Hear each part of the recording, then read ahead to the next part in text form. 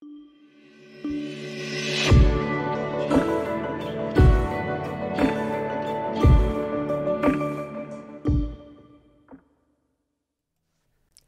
friends. Welcome to Coding Garden. Uh, welcome to a code Q and A. We're gonna be, uh, I'm gonna be doing my best to answer your code-related questions today. So welcome in. Uh, I'm using a new closed caption thing. So uh, for those of you that typically use the closed captions, can you tell me is it working right now? Do you see an option for closed captions? and uh, the Sheboss, thank you very much uh, for that gift. Much appreciated. Closed captions are on. Nice. So the these closed captions are a different plugin. Um, instead of being an overlay, it should actually be like embedded in the Twitch player, which I think is a bit better. Um, so cool. Cool, cool, cool, cool, cool, cool, cool, cool, cool, cool, cool, cool, cool, cool, cool. that was funny. It didn't know what I was saying there. All right, let's get into it. Welcome in, everybody. Um, so if you're just joining us, uh, you will um, uh, you can ask a question using, using chat commands. So uh, if you have a question, exclamation mark ask. And uh, Arian, thank you very much for that resub. Much appreciated. Uh, but if you do exclamation mark ask with your question, it's going to show up on this website, vox.coding.garden. Um, and this is really the best way to answer your question so that I have, I don't lose it. I don't lose it in the chat. Uh, we have slow mode on just so you have, you, everyone that sends a message, um, uh, sends sends thoughtful messages. That's the reason. Uh, don't don't spam the chat. So right now there's a 30 second a 30 second slow mode, which means you should take 30 seconds to write the best possible message you can and don't spam the chat. That's all. That's the only reason. um, and thank you for that stretch, William Cameron. Honestly, I was just about to stretch anyways, and I appreciate it. and D, who was it? Uh, 1710. Thank you for the hydrate. Cheers. This is the best possible message. I agree, William. Yeah, that's the other thing. So when I start answering questions, it'll be a few minutes before I start answering questions. But when I start, you can type exclamation mark here, and then that will bring it to the top. I try to only answer questions for people that are actually here. So you can see there are some questions that were asked like a month ago, a week ago, a few weeks ago, but uh, I won't answer your question unless I know that you're here in the chat. So, yeah. Welcome to the digital highway. and welcome in the real Enrico. Yeah, a lot of people had questions about the music today. Uh, this is all from Chillhop. This is the album that I've been playing. Um, and the first six songs from the album played during the intro. So, yeah. What's my opinion on the $8 for Twitter blue tick? they got to make money somehow. I don't know. I, I don't really use Twitter, so I don't have much of an opinion on it. Yeah. Vuetify 3 finally did it though. I, like their website isn't updated. Um, because I, I looked this morning. Maybe make sure like I'm not, I'm not loaded from the cache, because uh, it still says. I mean, I guess is it in release candidate? Is that what we're dealing with here? Um. their Twitter? Well, they need to update their website because it says target release soon and we're in alpha and the beta is live. Murdoch is still banned on Twitter? Well, that's unfortunate. Yeah. Okay. Uh, thank you for this, Drills. We'll look into this because uh, we, we use a lot of Vue.js here, so this is this is interesting news. Though I'm always hesitant to open Twitter on stream because well, this didn't happen on stream, but the other day I lo- like I went to the homepage and it popped up a message and it was like, "Is this still your phone number?" And it put the phone number like all right there, and I was like, "What if I had opened that on stream?" Um, so I I'm very careful to open Twitter links on stream right now. Um, okay, uh, Vuetify. Cheers to Vuetify three. So they live streamed it on Halloween. That's pretty cool. Um, streaming on Twitch and answering questions. That's cool. I didn't know. I didn't know John Leider had a Twitch. Shouts out to John Leider. Um, let's see. He's only got one past broadcast. He is an affiliate though. Drop a follow. Drop a follow. Shouts out to this dude. Um, I met him once. I met him once at Vue uh, at VueConf. um, definitely go drop a follow over there. I, it'll be fun to watch him uh, stream Vue stuff. Um, Okay, all, all, of that to say, yes, it is released. I don't know. They they still need to update their website. But that's that's cool. Glad to know. We'll have to use it at some point. Like I'll I will I will use it on stream. I'll even do like a YouTube video on it when Vuetify.js says it's version three. Because right now this is potentially confusing. It might be that they force you to go to next.vuetify.js.com because uh, there are so many people that'll that are still on version two. Um, so yeah. First of all, the fact that they have dark mode in the docs is awesome because Vuetify uh, two I don't think had that, so that's great. But yeah, we'll have to we'll have to look at it some at some point. All right, uh, welcome in everybody. Glad to have you. Uh, it's Wednesday. it's Wednesday. Let's say hi to everybody, and then uh, I'll start answering some questions. Um, and I will say, I'll say this right now. So if you're just showing up in the stream and you really, really want your question answered, I'm gonna do my best to answer any question that would typically take less than five minutes to answer. And I'm going to try to get all of those out of the way first. And then if we have some more involved questions, I'll get into that afterwards. But I, I know like the reason there are so many questions on here is because sometimes I take a long time to answer them. Today, I'm going to do my best. I'm going to set timers and I'm going to make sure that I don't ramble on for a long time so that I can answer as many questions as possible. With that said, I have one minute and 30 seconds to say hello to everyone. So if you want to say hi to me, just say hi. Just say hi in the chat. Here we go. Uh, Drills, what's up? Welcome in. What's up, Coder Mutahai? And uh, Damon and BTRSL and Timon and Vincy and the Sheboss and Pobplip and Coding Garden Fan. Uh, and what's up, uh, Nuajaman and Limodes and Murdoch and uh, Javeds, Javits. Uh, and uh, thank you for that resub. I'll read your I'll read your message in a second. Uh, what's up, Stony and C Nikolov and Sal- uh, Salahuddin? And uh, if you do have a question, be be sure to use exclamation mark ask followed by your question. So see Nikolov, if you haven't done that yet, re-ask your question with exclamation mark ask so I don't lose it. And what's up, Salahuddin and Vulture Bike and Pablo and Ricky U and Ryan Roga and David and Lakshman and Unknown ABCD and Aaron uh, and user name. Hello, what's up, Vive and Vedumps and Origin and Prasanth and Andrew Lane and the Rufa and Oxneo and it's me Delano. And is this name available though? Hello, hello, welcome in. What's up, uh, Guji Propful and the Mixed D and Co- Cute Pony and Ghost Exist and D1710 and Park Parkour Peter uh, and Matik and Tanner Barcelos and Tomek and Tabby and Kuyir and Just Quack and William Cameron. Welcome in, everybody. Glad to have you. Uh, quite a few first timers too. Welcome in, first timers. Uh, you, you, you, you're welcome here. We, we like beginners here. uh, that's, I mean, this is. This is, in general, this is cool to see because it's been a long time coming for version 3. So, yeah. Wow. Okay, I, I see, I see. And they literally said it in the release. It's still Vuetify at next and next.vuetify.js for now. Yeah. Yeah. Okay, that's it for the hellos. Let's start answering some questions. So if you have a question, if you have already asked a question, type exclamation mark here. It will bubble up.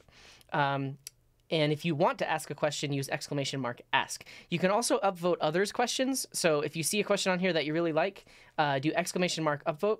And also, right now, you can upvote your own question. And I just saw that uh, the captioner said instead of upvote, it says a vote. Upvote. Upvote.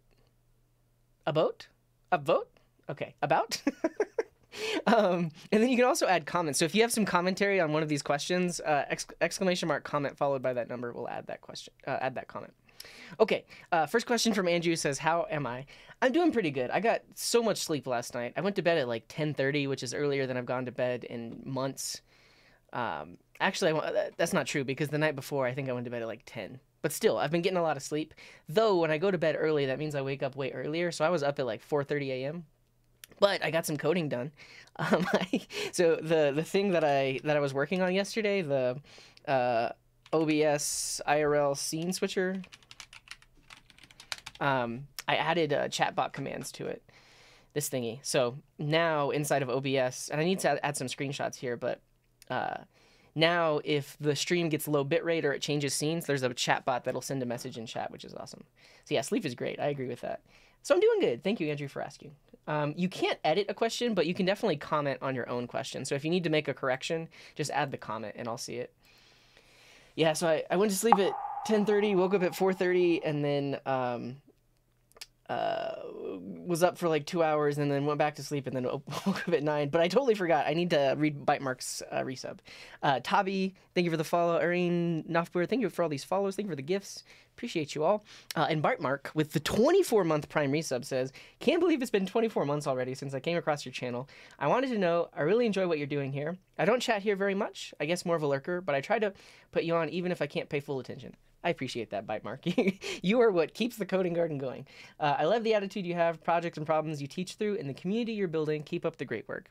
Thank you, Bite Mark. Can we get hearts in chat for Bite Mark? 24, 24. So here's the thing that's a 24 month Prime resub. That means 24 months in a row they have clicked that Prime button, which. Uh, is a great deal of support. It's almost, it's almost, it's almost hard. Uh, it is, it's harder to do that than just to be a regular sub. So thank you, Bite Mark. I appreciate you. Uh, and Gabe's, thanks for that follow. And Fruple, thank you for that five month resub. Thank you, thank you. Um, yeah. What is exclamation mark here? It just if you've already asked a question, it makes it it makes it come up to the top. That's the only thing. Um, yeah. Let's see. I missed this. Mods should appear at first, then subs, then regular people. I think VIPs appear before mods, maybe. I don't know. I don't know. Um, well, actually, so uh, so here's the thing. It goes by subs first. So if you're a sub and a mod, you're going to show up at the top. But the subs are going to show up before just plain old mods. So mods with a sub are at the top, then subs, then mods, then VIPs. um, you, I think you can see the sorting algorithm on my GitHub repo, but that's that's the that's the sort. Yeah, seedlings for priority answer status. I'm not opposed to it. Put it under ideas. Is that on here? Somebody do exclamation mark idea with that, and all know, so I won't remember it. Um, plain old mod. Yeah, you're just a plain old mod. all right. Um, uh, and again, I'm going to try to answer all the ones that I can answer in less than five minutes. Um, and, and then we'll move on from there. So. Cool. Uh, so next question uh, comes from Ryan. Where did I start my web dev career? What was your first job and how did you find it? Yeah. Um, and, and Murdoch, thank you very much for the gift to drills. There's a whole lot of mod love going on.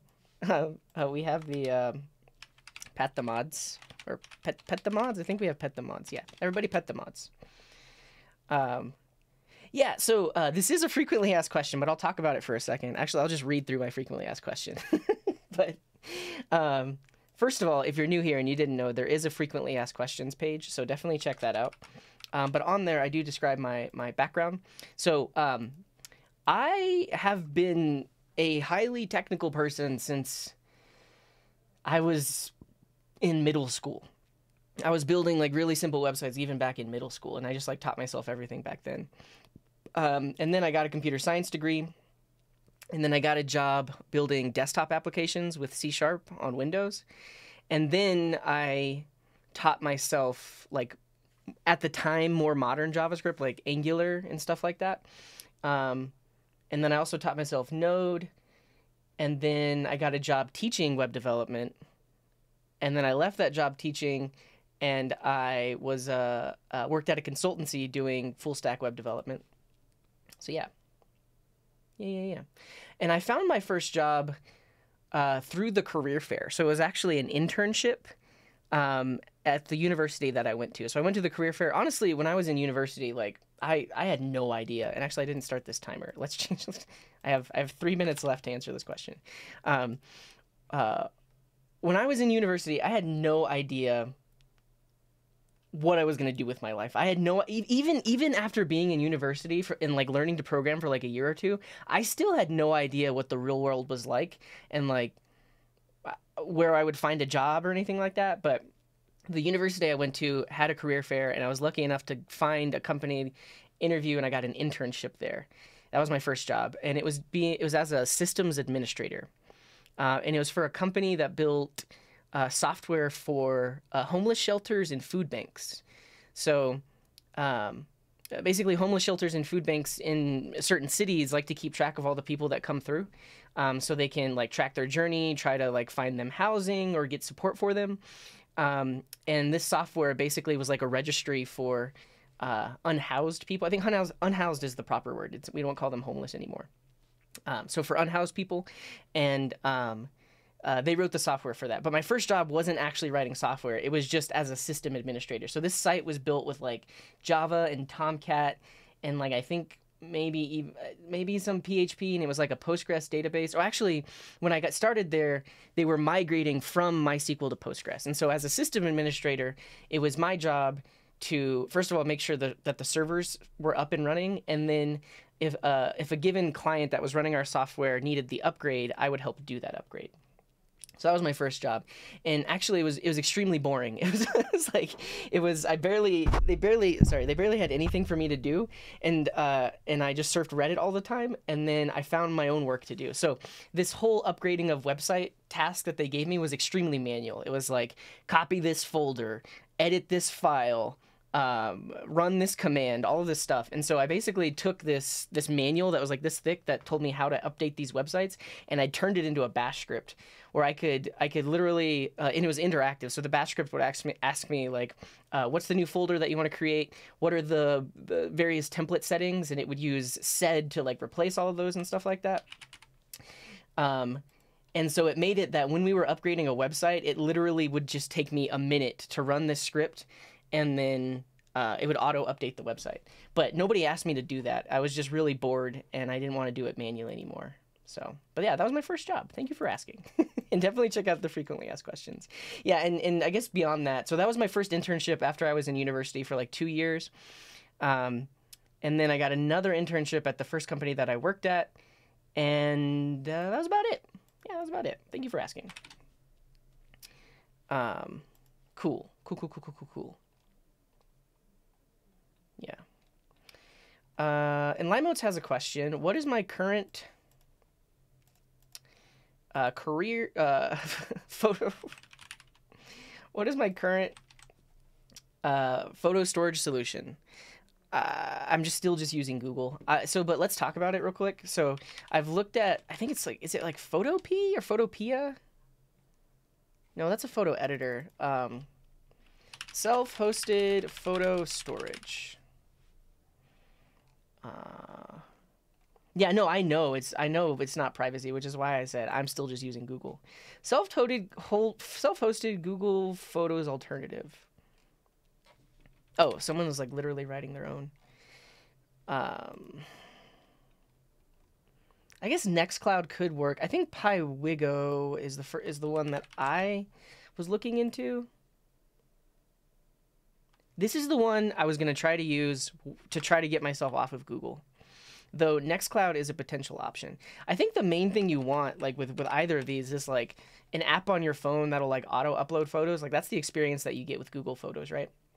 But yeah, the main reason you wouldn't want to use Google Photos is because of privacy. Like Google, they're already reading all of your emails. They're already seeing all the websites you visit. Um, so yeah, let's actually let's let's take a break because uh, there's an ad. There's an ad. Um, I need to add the command. Um, um, I have acknowledged. There is an ad. I will resume when it is over. We got about a minute and four seconds left of the of the ad. Um,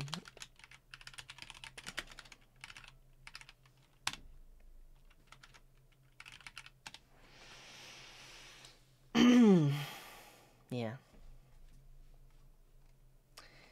You saw an article about someone getting wrongly accused of illegal stuff because of Google scanning photos and documents. Yeah, I mean, I could see it, like especially uh, like law enforcement having not necessarily backdoors, but like easier access into people's Google photos and stuff like that. But yeah, um, that is a thing. Yeah, and, and so welcome in all the all the newbies. If you do have a question, be sure to use exclamation mark ask um, so that way I do not lose your question because I'm going, basically I'm going in the order that the questions were asked. So they show up here.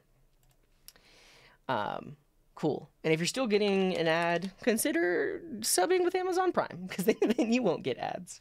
And also please join my mailing list because one day Twitch might ban me or YouTube might shut down my account. And if you join the mailing list, I can keep in touch with you. So please do that. All right, the ad is over now.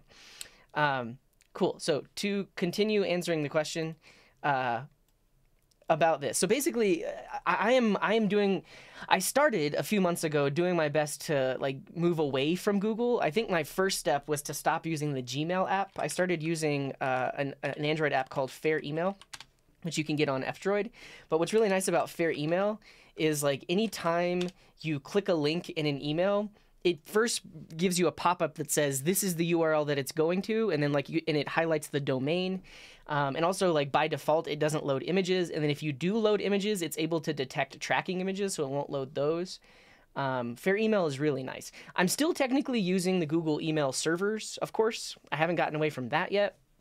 But this is much like I got so annoyed by seeing literal ads in my Gmail Gmail account. So that's that was my first step of switching eventually I want a different photo storage solution as well. Like, so the only reason I have Google One, which is the um, the paid Google service, I guess because I get YouTube Premium.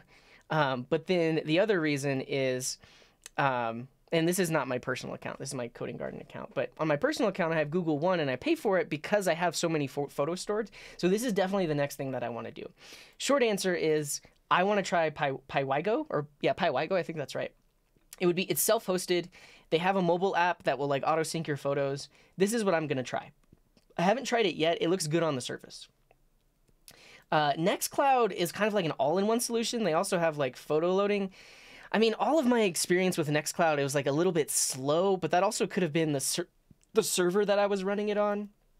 But this is another potential option. So honestly, Limotes, I'm in the same boat. I don't have an answer yet, but these are the two that I'm going to try to basically replace Google Photos with. Uh, thank you for your question. And uh, thank hello, Alka. Welcome in. Will YouTube videos also come into that Google One plan? No, so you, YouTube storage is unlimited. That yeah, that doesn't count against your uh, overall storage. Your storage for Google One comes from Google Drive, Google Photos, and Gmail. Yeah. Yeah. All right. So if you asked a question, type exclamation mark here. It'll bubble up, and I'll do my best to answer it. Um, that doesn't yeah. Well I, and and this is really what you have to look into because and it's not that it's just getting filtered by google. They're like there's a lot of email spam catching things that will auto filter stuff like that out. Piwigo? yeah one pixel tracking so you may not know this but in emails typically uh, some email clients if they want to enable tracking they'll embed like a one pixel image. And then when someone loads that image it that's how they know that you opened their email yeah. Yeah. I was not about to sit through five ads in a row. Sorry about that, David. Oh, yeah. And then someone was mentioning is just using a NAS. Um, so NAS is network attached, attached storage. Uh, and Zabath, thank you very much for the three months. Much appreciated. Um, but the, the issue with this is like you don't get the seamless user experience of, of like auto syncing your photos from your phone and stuff like that. You probably could set it up, but yeah. This hoodie is not a lot. Oh, you. Oh, oh, I see. You ordered Vue hoodie and it's not a large. That's unfortunate. Yeah. Yeah, and so the if you're seeing some questions that are purple, that means the person has been here, typed the exclamation mark here within the past like five minutes or something. Uh, it's a certain amount of time. If it's gray, that just means that they haven't typed exclamation mark here. So yeah. I paid too much for Google Apps and Google Workspace. Yeah. Yeah, the, uh, the talk probably talked about like Nextcloud or OwnCloud. The my marquee doesn't marquee. There it is. There it is. yeah. Oh, that's unfortunate. I mean, what I've found is basically using Amazon SES, you don't go to the spam folder because they they they they they really work on their IP reputation and they prevent spam and they do like validation of the users using their API and stuff like that. So my mailing list use, uses Amazon uh, Simple Email Service. Yeah, yeah, yeah, yeah. Um, wh- whoever is sending the emails will, will potentially add a tracking pixel. You're right. Um, yeah. Yeah, so basically, anytime I'm about to ask, answer a question, type exclamation mark here. If I'm already answering a question, there's no use in typing exclamation mark here because I'm still working on the previous question. uh, so basically, like, wait until I'm about to choose the next question before you type exclamation mark here. people working at Google Google still go through YouTube ads? I have no idea. There's probably some sort of incentive, like you get free YouTube Premium or something. I don't know. Yeah. Okay. Uh, let's answer another one. So now's the time. If you asked a question, type exclamation mark here. It'll bubble up, uh, and then I'll do my best to answer it.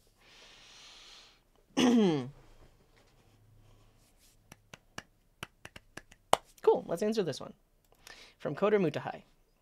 Um, so, Coder Mutahai asks, this is kind of a personal question. My age is 19. I learned basic HTML, CSS, and some JavaScript. I now want to start learning, and I'm confused. Like, should I take CS50 first and then learn web development, or should I learn directly web development stuff? Which way will be a better for a strong foundation? Yeah, and then Timon replies, hard one to answer, depends on what you need.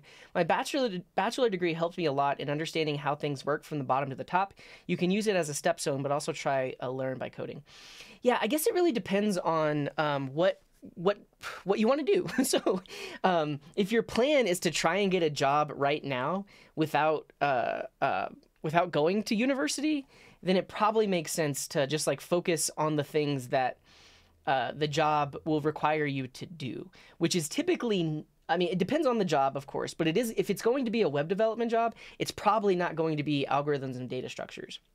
You still might need that for the interview process. But yeah, so if you're not getting a job, honestly, I would say uh, do what is most fun to you honestly and like what you're most interested in. And also like what your what your focus is. Like if you want to build apps that a lot of people can use very easily web technologies make sense. Um, if you want to learn more about like computer science fundamentals and the theory of computing and stuff like that then it makes more sense to uh, to look at um, uh, more computer science focused stuff. Uh, so yeah, somebody asked what's CS50. This is that free Harvard course. Um, this one. CS50, Introduction to Computer Science. You can literally watch every single lesson, and they have all the course materials online and stuff like that. So, um, yeah, I, I, I, don't have a solid answer for you, but but I think um, it really comes down to what you want to get done. Because at the end of the day, like you could spend days and hours learning all this computer science stuff and then not really get anything out of it. Like it like never use it again um, or or whatever else. Um, at the same time like i will say there are some p- potential unconscious competencies. They're like things that i know about and know how to do that i don't realize that i know it, how and know how to do uh, because I studied computer science and because all of that stuff is like stored in my brain somewhere. So it's possible that that stuff helps me solve problems better. But when I directly think about it, for the most part, I don't really see myself using much of the stuff I even learned in computer science. So yeah, honestly, Coder Mutahai, I like I would next focus on like if you know the basics here, then start focusing on some some kind of front end framework like React or Vue or Svelte. Um, and again, if you're not trying to find a job with it, um, then pick the one that seems uh, like you're going to have the easiest time learning it and using it. So there's my answer. Uh, and, and again, like that answer depends on the person asking it and depends on what their goals is. Because if your goal was to find a job, and you're and you're 19 years old so like this is like it has to do with how old you are like how much time do you have because see like honestly at the age of 19 you still have like a you have your whole life ahead of you. So i mean you're, you're not going to really be wasting that much time if you do decide to like focus on computer science concepts um, because you got a whole lot of time. But i would say if you're older and like you're trying to switch careers it may not be worth your time to learn all of that stuff because you can still get a job not learning all that stuff. So yeah. But yeah cs50 is a is a free uh, harvard course. Not free. You can access all of the resources for free. Um, and they have it yeah this is probably the better better website but uh, you can see the the uh, the year but they have all of the past year's syllabus and, and a lot of the past year's recordings as well. It's a super interesting computer science class because so like typically like computer science 101 at least for me was learning how to program with java. Cs50 is like a whirlwind tour of all of computer science. So they do Python, they do C, talk about data structures, they do SQL, they do web development. Like it's it's like everything all in a single course that really gives you an overview of like of computing. Um, which is very different from like a computer science 101, which is like intro to programming, and computer science uh, 201, which might be like intermediate programming or something like that. So CS50 is pretty cool. But thank you for your question, Coder Mutahai. Hopefully that uh, that helped you out a little bit. Yeah. I wish I was 19 again and knew what I know now about CS. So I mean, I think that's the other thing is like maybe I like I guess I'm biased because I just I I know that I spent so like like a very like a 3 or 4 years of my life learning about computer science and then barely using any of it in on the job. So yeah. Uh, be sure to use exclamation mark ask so that I, I don't lose your question. So exclamation mark ask, it'll show up over here. If you've already asked a question, type exclamation mark here, it'll bubble up and um, Pranjal, use exclamation mark asks or submit so I don't, don't lose that. yeah.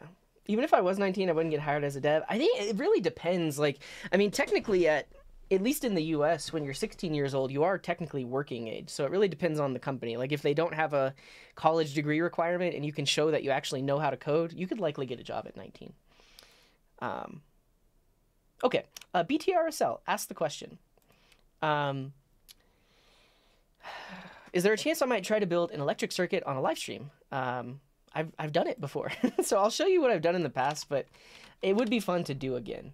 Um, so I did an intro to Arduino a couple years ago. Nobody hired you? Eh, you got, I mean, um,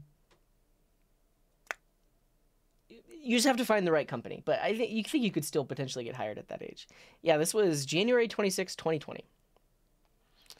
Um, that was that was before we knew the pandemic was a pandemic. uh, but in this video, um, I, I, I, give an intro to like C programming, uh, and I show you how to program like a simple LED on an Arduino.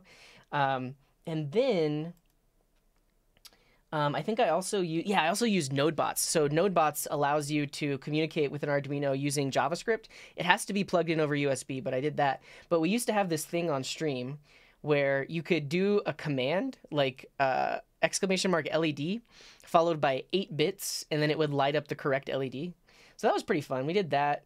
Um, and then at one point, we programmed uh, an LED matrix um, Murdoch says, back when I lurked and never did anything. So, uh, oh yeah, so uh, we, we, so used, I used to stream to YouTube and Twitch at the same time, and this was before I was an affiliate on Twitch. But so I streamed to both. So you can see in my in my chat, anytime you saw a red message, that was a YouTube message, and I made tic tac toe, and it was Twitch versus YouTube.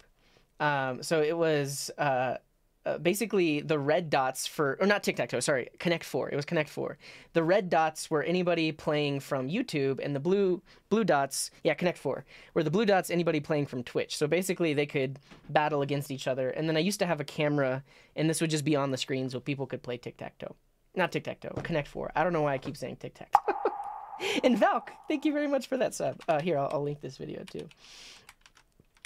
Um and then this one, uh, we basically did like a like a pixel art uh, matrix. So we used the, the, same matrix, but we made it so that you could send a chat command to set the color of an individual pixel, and then um, we also made it so that you could send. But oh no, no, this was it. Yeah, so we made a React web page where you could basically do your pixel art, and then that would give you the command that you could run, and then if you run that command in chat, then it would it would light up the LED matrix. Um, so to answer your question, I've done some stuff in the past. It would be fun to do again. Actually, actually, one of the things that I want to do. Oh, this was your first stream, Limotes? That's awesome. Uh, September fourth, twenty twenty. Um, but what I want to do is I want to get an LED matrix that's bigger, uh, bigger than this, and I want to put it on my desk so that when I'm on this scene, uh, let me turn the blur off really quick. Uh, when I'm on this scene and it's like getting started, there can be like a giant uh, uh, LED matrix right there that you all can control. That's that's what I want to do next for sure. Um, did I share that one in chat? I did. Yeah. So yeah, that'll be fun. I just need to find the right the right hardware for it, because um, you can find all kinds of like LED matrices. Um, the one that I had uh, was like it was tiny, and you like you really couldn't you couldn't make cool pixel art as much because it was smaller. So I want like a bigger one. Yeah. yeah, yeah. Cool. Thank you for your question. Um, Jules is saying, are idea and submit still relevant? Yeah, the thing about these is that they just stick around longer. And then if, if I ever need an idea for something that I'm going to be doing on stream, I can pull from this list. Um, so they're relevant. I don't do any specific streams around them, but yeah, they're relevant. Thank you for asking, Jules. Um, Pranjal says intro to consistent hash hashing. I've never heard of it, so I'm I'm gonna pause on that and we'll do some research to see what it is. And then uh, a 101 on the provider composer pattern in React. Let's see what we got here.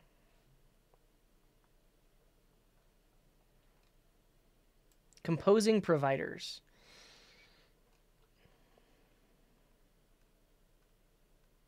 Oh, I see.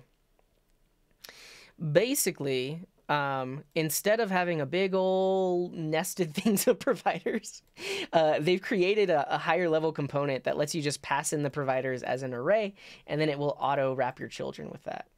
Yeah. Um, I'll hold on to your question because so without without looking at their solution, we can look at this and try to derive how they how they actually implement it. So, yeah, I won't I won't answer your. I'll, I'll try to get to this in a second. Uh, do I plan to do any Code Kata stream? Not anytime soon.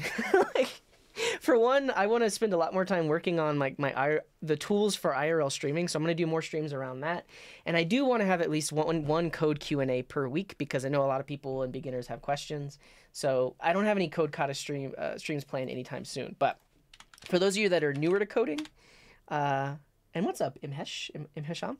If you're newer to coding, this is a great place to start uh, I used to do this stream every single Wednesday. There's like over over 60 episodes where I pick problems from this website called Code Wars, and uh, I solve them. I and, and I, I solve them in several different ways. And we also get a lot of input from the chat on like, is this a better solution than that solution? And it's also like a really good exploration of all the features of JavaScript and stuff like that. So that's definitely a, a cool playlist and, to start and look at. But I don't think I have any any uh, uh, plans on doing it anytime soon. Soon. Is it possible to put a question on Vox using seedlings? Uh, submit this as an idea, Lakshman. If you're still here, do exclamation mark idea, because I'm not opposed to it. It could be that yeah, like if you have like I don't know, 10,000 seedlings or something like that, you can redeem it for like an like an instant answer. I'm I'm not opposed to that. I, I like that idea. But if you do exclamation mark idea, we'll it'll put it over there. Best practices for storing user info in React. Uh, I'll skip that for now. That doesn't mean I'm not going to answer it. I'll just skip it for now. uh, what's my favorite component framework for Vue.js? Let's talk about this because it's relevant um, with uh, it's relevant with the new Vuetify. Okay, so quick history lesson. Vuetify.js was the component library for Vue.js for the longest time. For the longest time, like if people were choosing a component library, this is what they chose and it's really good and it has a ton of components and it's really awesome. Then Vue.js 3 came along. And there were some breaking changes. Um, I think they were for the good, for the better. Like I, I actually, I really do like the direction that Vue.js has has gone. But that, but with those breaking changes, that means that a lot of these libraries that were built on top of Vue needed to be uh, refactored or reworked to work with version three. So uh, Vue.js 3.0 has been out for let's let's get the right date because it's probably it's over a year. It's been out for over a year now. Um, I don't know if we can get the yeah. Hey, look at this. Uh, we have re- release release release dates. Um, well, it doesn't say the version. Two years ish. Yeah. Oh, here we go. So version three was yeah two years ago. Like it's almost like it two years. Two years ago, Vue.js version three was released, and it's taken two years for Vuetify to like rework and refactor and get Vuetify working with Vue.js three, which is a, which is a long time. I mean, uh, not not to it's it's a hard problem to do, right? Because if you look at Vuetify, it's a huge library. Like there's so many components, and when you have a major release like this and there are breaking changes, the the people that are going to have the most breaking changes are the libraries that depend on the internals of the framework. Um, so things like Vuetify have taken a while so to, until they can fully support version three, and the good news is uh, just two days ago, um, Vuetify now finally supports Vue version 3. So if you go to next.vuetifyjs.com, these are components that you can use with Vue version 3. Um, and I, I don't know if I can suggest this yet because um, I think more people have to use it. Obviously, there was like bug testing and everything before they made it an official release. It's not beta, it's not alpha, it's released. Um, but that said, I don't know how different it is from the original. So I think it would take some work to, to know if like this is the way to go. So, uh, with that little bit of history, Vuetify used to be the thing everything everyone chose, but since they didn't support Vue 3 yet, people were choosing other options. Let's talk about the other options.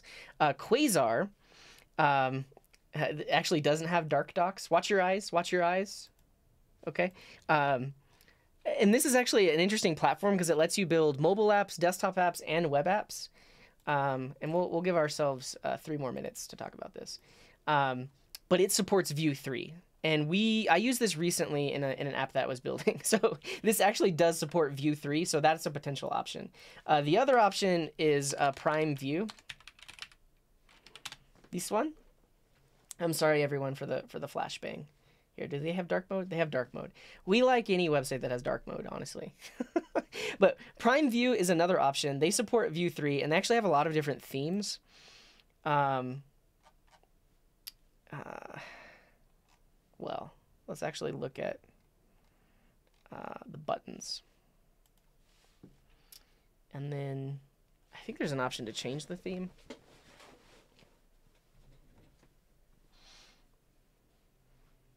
I, I agree, Ryan. Without dark mode, it is unforgivable. Uh, click the cog. Oh, here we go. Yeah. So you can choose your theme. This so this Prime Vue honestly like it seems really cool. Okay. They didn't tell me that they were going to turn off dark mode when I changed the theme. Well, it's cool because they have a lot of built-in themes. The one thing to look out for is parts of this are a paid product. Now, not that that's bad. Like I think it's it's it's it is it's good that as open source as an open source project they're figuring out ways to make money. But there are certain aspects of this that you can only use if you're a paid user, and I think like the custom theming tool and stuff like that. Um, that is what you potentially need to be a pro user for on the surface it's free, but there eh, you'll have to look into it. There are certain things that you can't do unless you pay for it. Um, so that is something to think about. At the same time, Prime Vue looks pretty sweet. The fact that they have all these built-in themes and they have a ton of really good components, I think it's a good a good contender for for uh, component library. The other thing to consider is um, what if you don't want um, what if you don't want material design? And Vuetify is material design. So this is that like classic Android Google look. And let's say you don't want your website to look like that. Prime Vue might be a good option because they have other themes that are uh, not necessarily material design. Like you can actually choose a, a bootstrap theme that doesn't look like material design. So that's that's another thing to think about. Um, anyone in chat, can you tell me um, what are some other? We need to we need to make our own countdown timer with dark mode. I guess.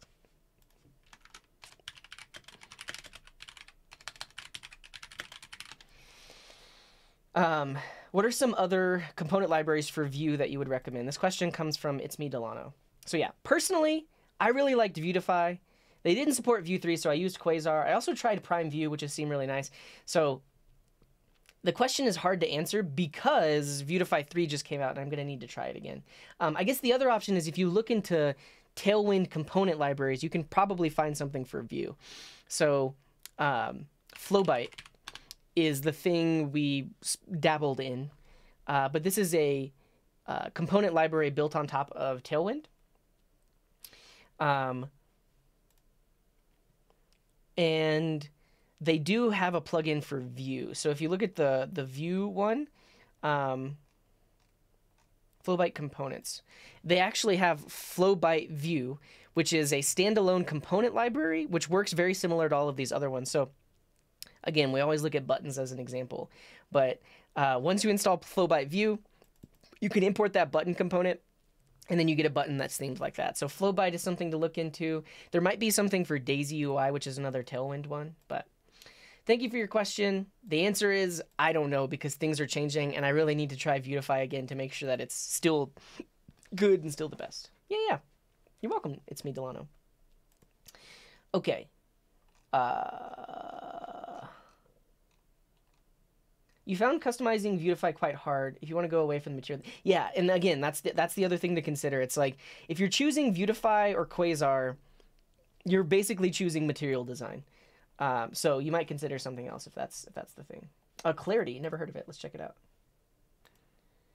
Also, dark mode for the link me. Actually, let, let, me just do this really quick. I can I can um, I can add it with with stylus. So write a style for this. Um,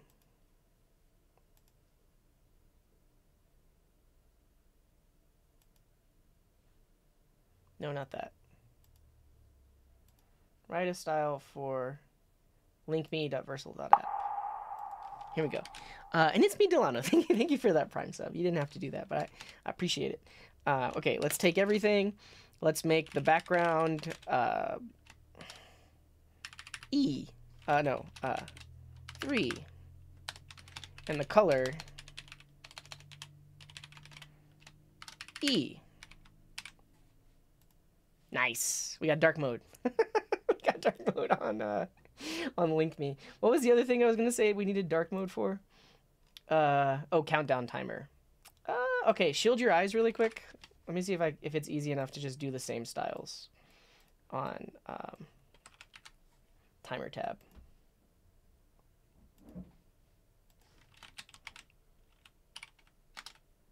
Eh, it's not horrible. We can we can we could spend a bit more time doing it. I guess I technically could have just turned Dark Reader on. Oh well. Um, first of all, let's look at clarity. So this is a component framework that um, who was it? Uh, Valk mentioned. Global styles. CDS button. Oh, and then they so they have it for core and then they have it for Angular. Do they have a Vue version? I guess technically you would use the web components if you wanted to use this for Vue. Cool. Awesome. Thank you for your question. Um, how many questions got answered? I think like three. so,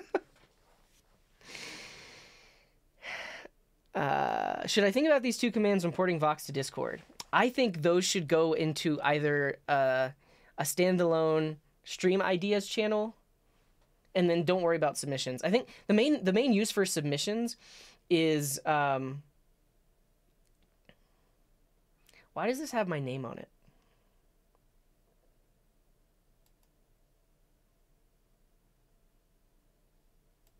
What? I didn't ask this.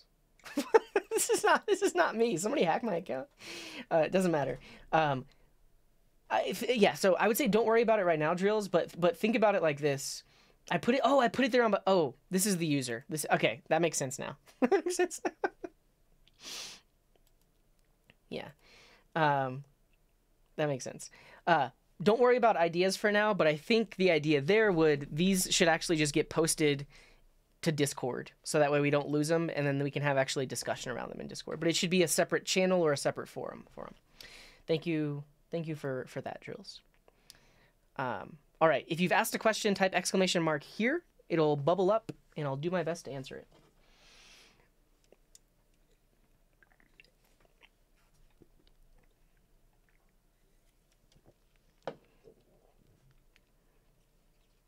What's up, the jive? Well, I appreciate that.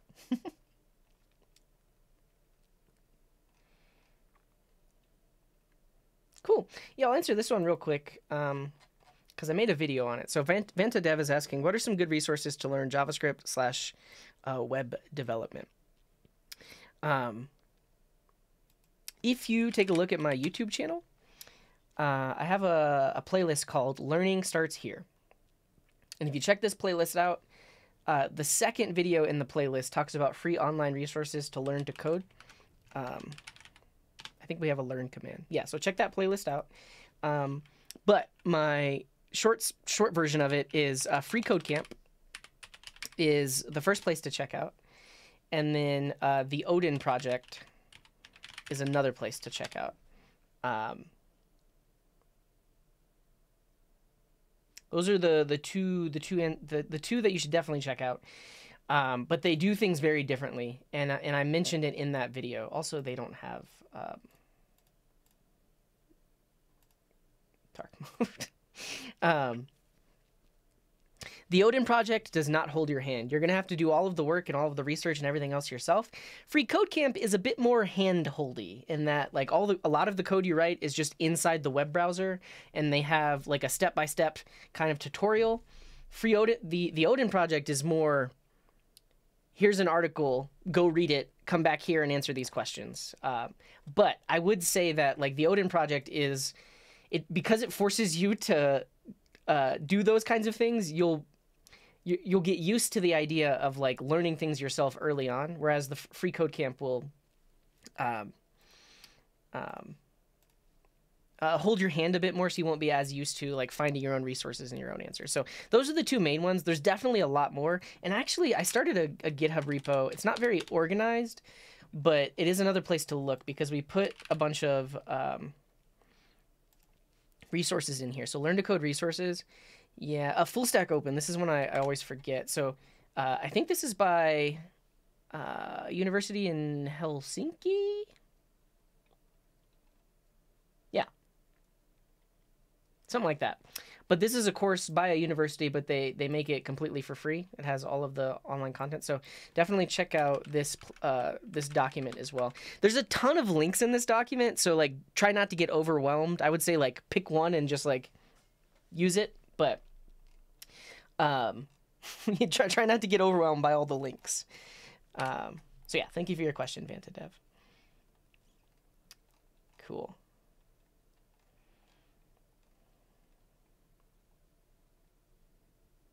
Try to answer this one really quick as well.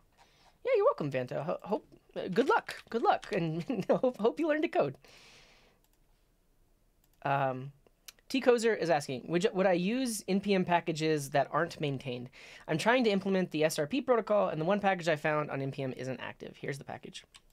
So this is like the dilemma of uh, trying to use packages from from npm. So like you can see the last commit on here is 2018. Um, and but it implements the secure remote password protocol. I actually haven't heard of that. Um,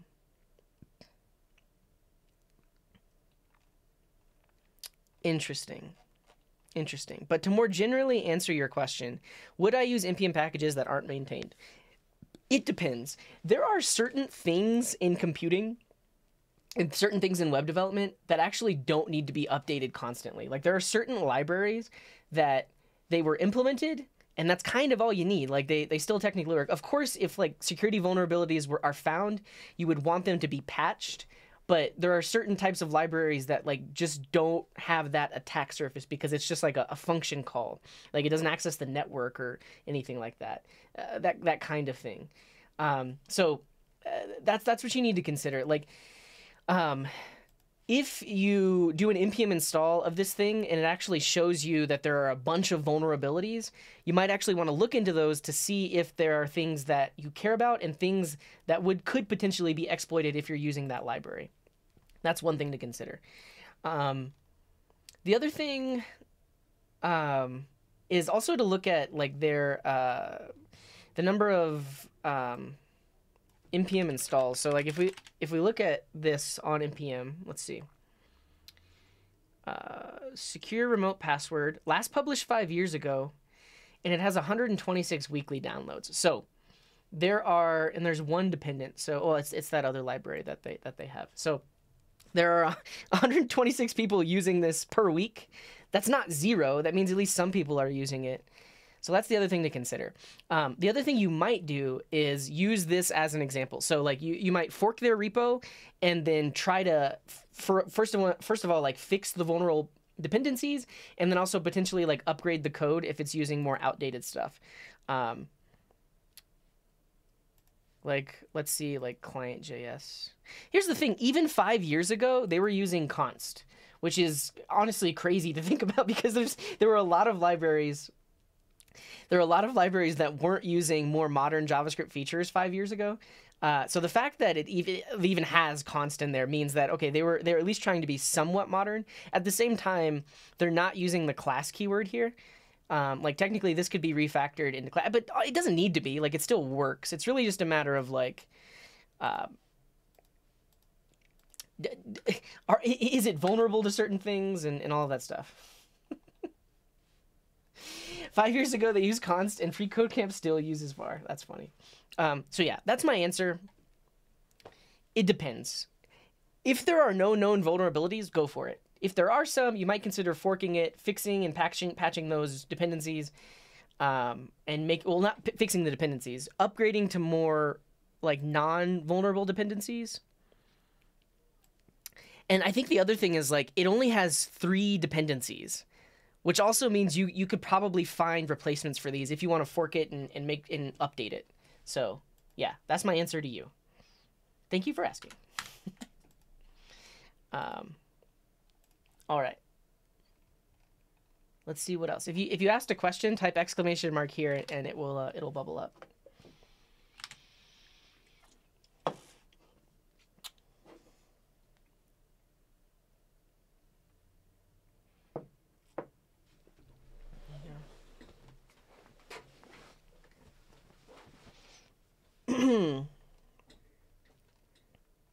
okay, let's go for. Well, I did answer Coder Muntahai's question earlier, so let's try to answer someone else's.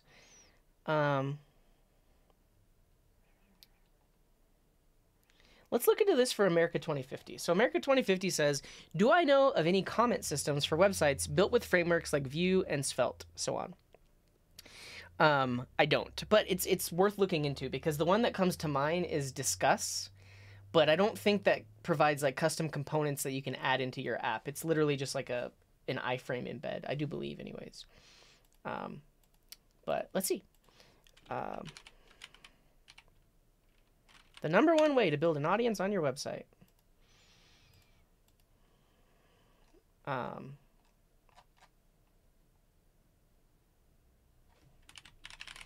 GitHub based comment component library. Giscus, a comment system powered by GitHub discussions. That's cool. Uh, this was last updated three days ago. There's also utterances.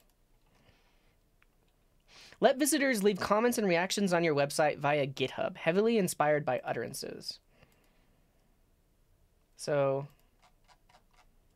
I mean, this is newer, it's inspired by it. They both have plenty of stars. This was last updated in February, but this is funny. They updated to Parcel. Well, they're going to need to update to Vite now. Not necessarily, but I don't know. Uh, a lightweight comments widget built on GitHub issues. Open source, no tracking or ads. Cool. Check these out. I don't know if these provide like a Vue component or a React component. You might have to like write a wrapper for it, but these like look like good options. Um, and, and I guess to dive deeper into what they're asking here, like you if you ha- if you're in control of your own backend and everything else, you technically could implement a comment system. Let me fix my microphone. You could implement like an API that stores those comments in a database and all of that stuff. But depending on the kind of website you have, you might also have to implement like a user system and a login system.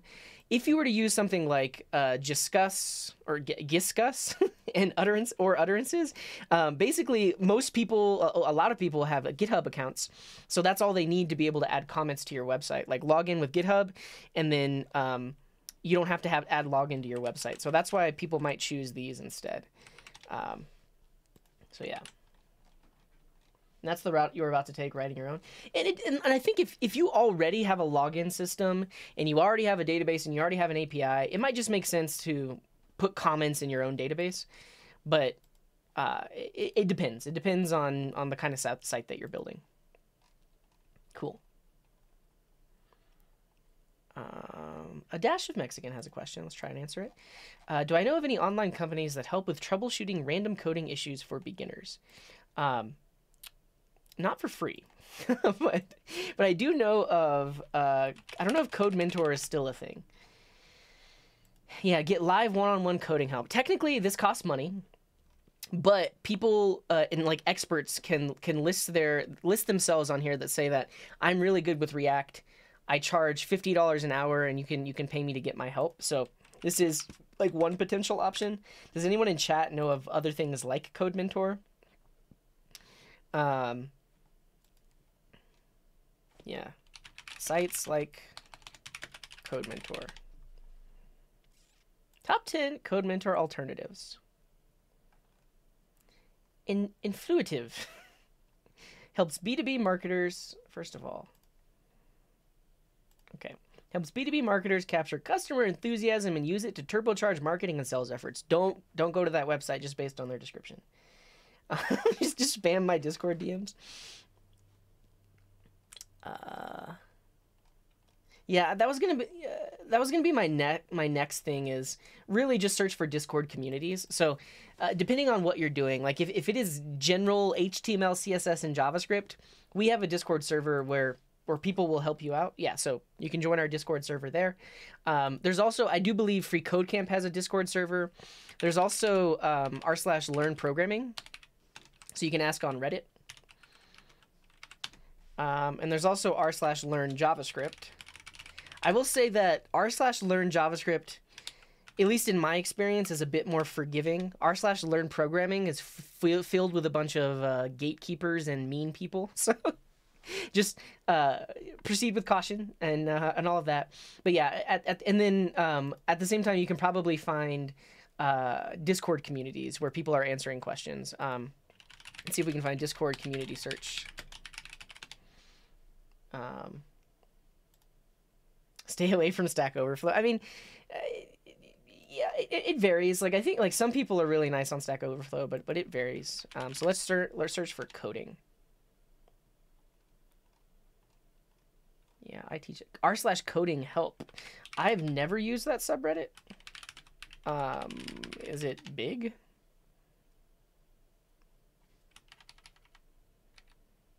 Their custom CSS is like breaking a lot of stuff. Um, let's see if it's active. Yeah, I mean, quite a few people are answering questions on here, so that's another potential option as well. Um, and then I, I would just uh, or like learn programming. Let's see if that's on here. Yeah, you can search Discord servers there, community Discord, community listed Discord servers. These, these, these all of these servers are, are public uh, and available for anyone to join. Um, if there's a private server, then you potentially might need an invite or you might need to find it. What's up, Al's Journey? I'm doing good. That's a duplicate and stupid question. You should be ashamed of yourself. Those are the kind of replies that you'll get from some people if you don't do do a search. Uh, and I haven't. I didn't search that. What is learn build tech? Yeah. You got banned from Stack Overflow after four months. Uh, man. Learn, build, teach. Welcome to the Learn, build, teach community. And they have a Discord. Cool. Yeah, yeah. So plenty of online options. Um, I think let me let me see really quick what we have in our um, um, in our we have a how to ask for help channel in our Discord. Um, and I do believe we have some resources on like good ways to ask questions as well. Let me see. Um, yeah, that's a resource. That's a resource. That's a resource. That's a resource. So, um, first of all, I'll show you this. So, on our Discord, in the help section, we have this read first channel. Um, first of all, it tells you search the Discord, make sure your question hasn't been answered. That applies to literally anywhere you're asking a question, whether it's on some other Discord or Stack Overflow or on Reddit. See if somebody's already asked that question before, because then you don't have to ask it at all. Um, then you can ask your question, and um, also you can work on how to ask your question. So uh, one of the things uh, we always say is don't ask to ask. So like don't say, are there any React experts here, or does anybody here know Java? Um, because first of all, a lot of people might not consider themselves React experts, but they probably might still be able to help you with whatever problem that you're having. Um, so you instead of saying, "Are there any React experts here?" you say, "I have a specific problem with React that involves this. Can someone help?" Um, yeah, and so uh, "Don't Ask to Ask" is a website that that gives an example of that, so you can you can check that out. Um, and then the other thing is uh, when you're asking the question, imagine you were the person trying to answer the question as well. So if somebody was trying to answer your question, what are all the pieces that they would need to know? They would like, like in order to answer your question. Um, and so that is talked a bit more about on the XY problem. Um, because like this this is another thing why like a lot of people are like mean when they're trying to answer your question. It's like you ask a question, but then the person is like, well, that's not actually the question you want to ask. Or like, you're asking this question and I can give you the answer to it, but at the end of the day, your real problem was here, not over here. So a lot of times when you're trying to find an answer as, as a beginner or as maybe someone that isn't as experienced in a specific area, you may have gone down some rabbit hole and you think you need to ask some question but really you're asking the wrong question it's it's kind of hard to describe but uh, basically uh, if you can think about your your question that way you can also start further back and make sure that you have your your base foundation and your base understanding uh, good as well and what's up Morwick? Uh, my dog is doing good he's really sleepy today but he's doing pretty good um, and then this website is how to ask questions the smart way. It's really long, but um, this also says like before you ask, try to uh, answer by searching the archive, search the web, read the manual. Uh, this is a bit outdated, but like you know, read the documentation, um, all of that good stuff. Uh, there's a lot of things you can do to make sure you ask good questions and make, and which in turn make sure that you get good answers. Um, so if you join the Discord, all of that's detailed here as well. So yeah. Um, oh yeah, and then there's a Stack Overflow specifically on how to ask a good question.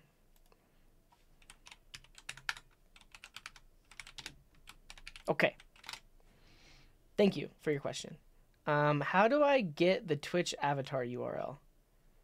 Uh, the Twitch API. Yeah, you're gonna have to request by user ID.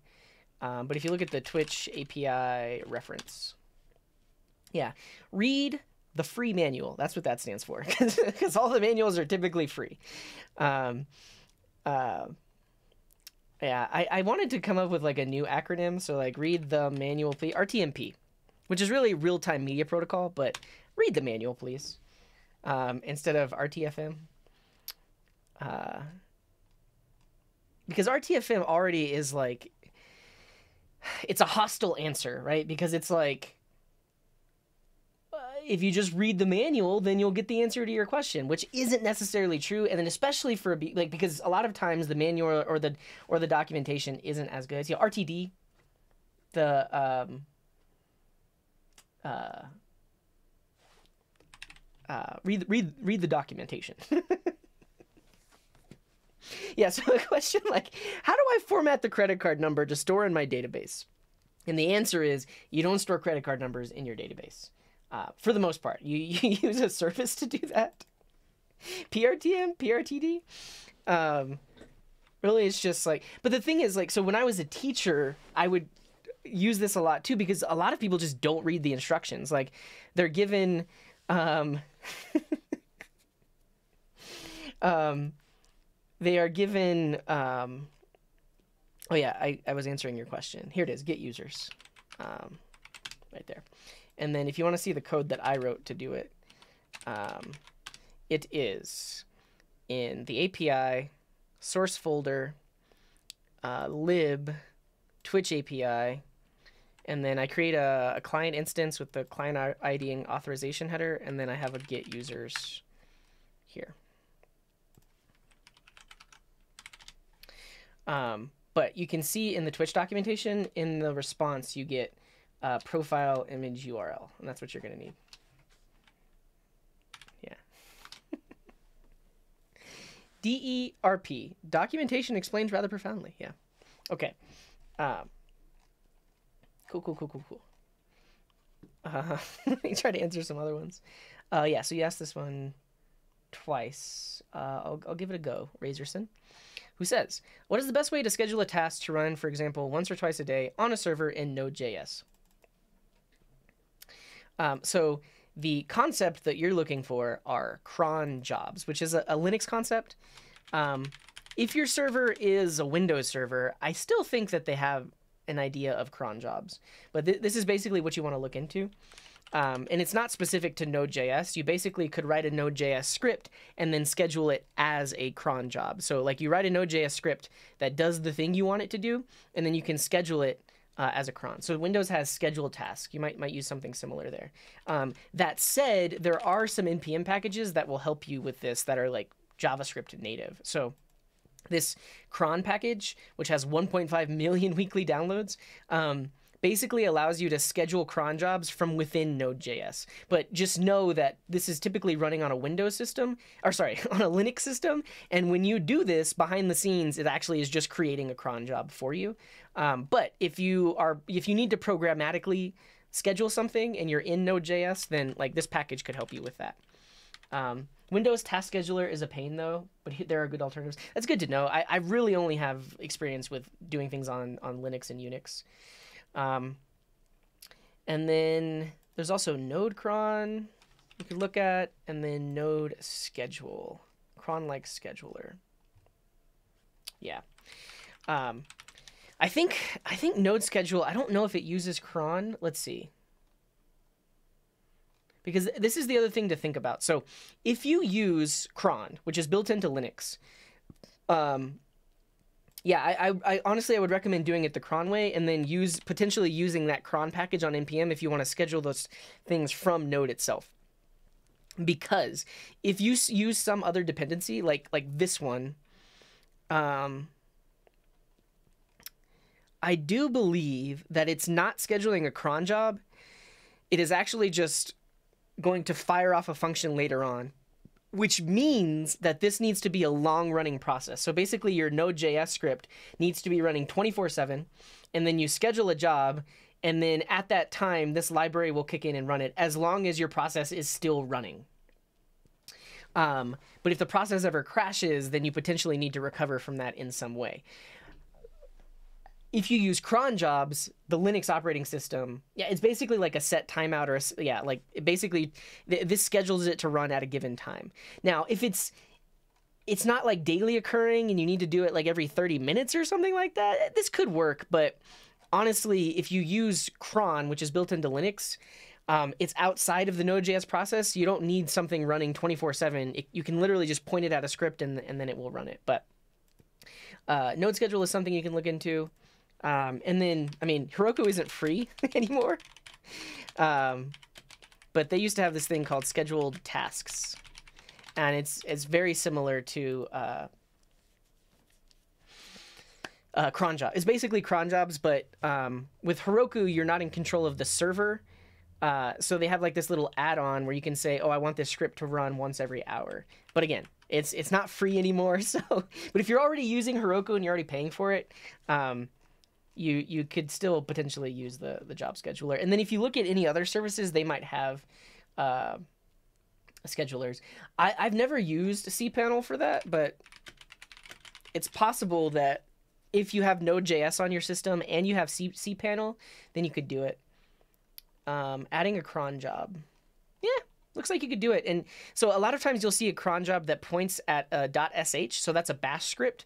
But as long as you have Node.js installed on that computer, um, and inside of the node file, you do bin uh, shebang slash bin slash node. I'll show you an example of that in a second. Uh, you can point it at a Node.js script instead of a bash script. Um, Node.js. Well, I don't know what to search for. like, uh, run Node.js scripts from the command line. Yeah, this this is what I'm talking about. So this shebang, uh, a hash hashbang. Um, if you put this at the top of your Node.js file or at the top of your JavaScript file and you make it executable, you can now run it like any other script on on the machine. So that's that's a that's basically how you would get Node.js to run as a uh, a cron job script as well. Yeah. Serverless cron services usually are pay as you go with a generous feature. Yeah, and that's one thing I haven't looked into. Like, um, because serverless spins up when you need it. I guess apparently AWS node scheduled thing is a thing is a thing. Zencron is a serverless cron. So like the idea with a serverless cron is like it just spins up the server when that task needs to run, whereas a typical cron job is on a server that's running 24/7 and then will run the script when it when it needs to be run. And then there's Firebase schedule functions. Again, I've never used these, but Um, yeah, you can check it out. And then um, M Huggins says there's a way to do it on Vercel as well. So those are things to look into. Yeah, what exactly are you trying to do? But at the end of the day, if you really need to need to do something on an interval, like uh, send a reminder email to all of the users that have a scheduled appointment coming up. That it makes sense to use a cron job for something like that. Yeah. Yeah, I agree. The mixed like serverless is a weird name.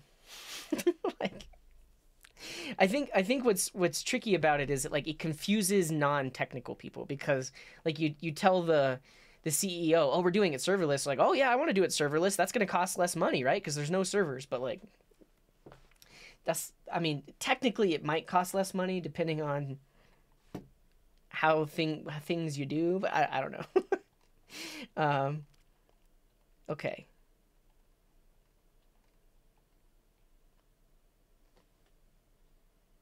Cool. I'll try to answer this really quick from Chimp, and then we'll get into some like code questions, which are going to take a bit longer to answer. Um, so, Chimp asked the question Given the choice, would you say it looks better on a resume to learn a framework for a language you know or learn a new major language?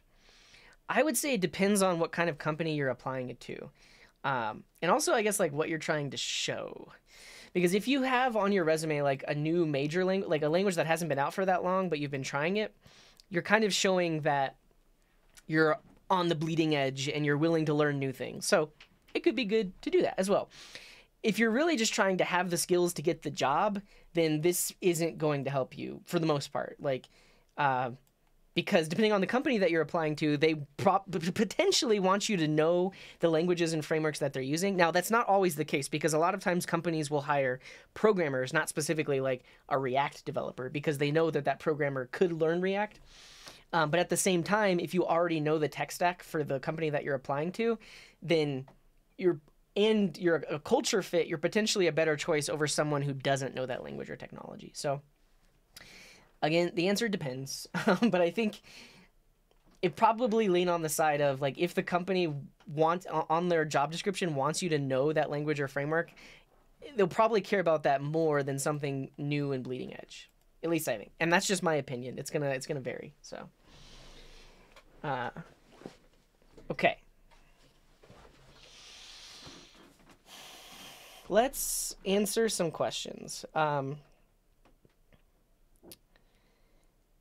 let's look at this. So I, I don't I don't think I'll come up with a code example, Pranjal. So um, but we will at least look into this for five minutes. So because I I actually have never heard of consistent hashing. Let's let's look into into it. Pranjal says intro to consistent hashing. First of all, what is consistent hashing? It has a Wikipedia article, so it must be real. Um, in computer science, consistent hashing is a special kind of hashing technique such that when a hash table is resized, only n divided by m keys need to be remapped on average.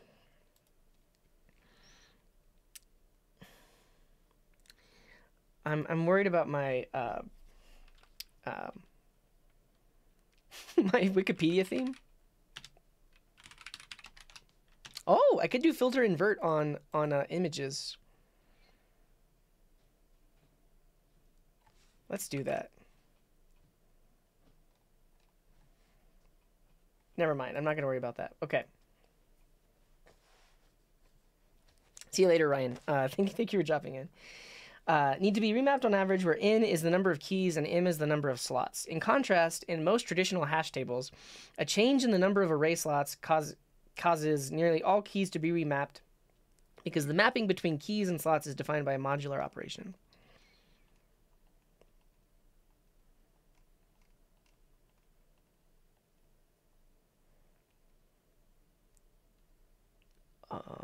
Procrastination start. No, I, I, I stopped myself from trying to edit the styles. Okay, uh, I've never heard of this, and honestly, I don't think I would really ever need to implement it. Uh, can you can you comment this on this Pranjal? Like, um, have you been asked about this like in an interview? Um, are you really just looking into more like computer science style algorithms? So, uh, this is this is why you're trying to like learn about it. Let's see.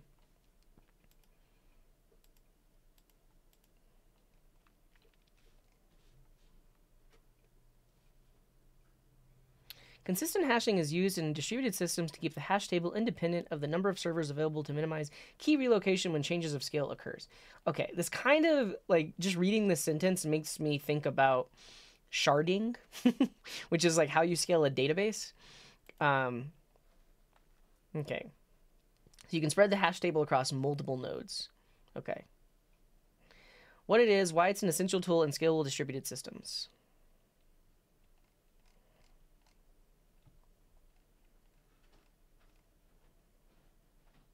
Okay. Yeah, I'm gonna go ahead and just say that I don't know anything. I don't know anything about this. Um, I'd have to look into it more to like try to come up with like a more a more like simple code example or something like that. And I will say that like scaling systems is probably where I have the least experience. Um, so, yeah. Thank you for your question. I don't know how to answer it. What's up, Danny? I'm doing good. Thank you for asking. I was saying earlier, I got some good sleep. Um, I woke up early, wrote some code, went back to bed. Yeah. Yeah.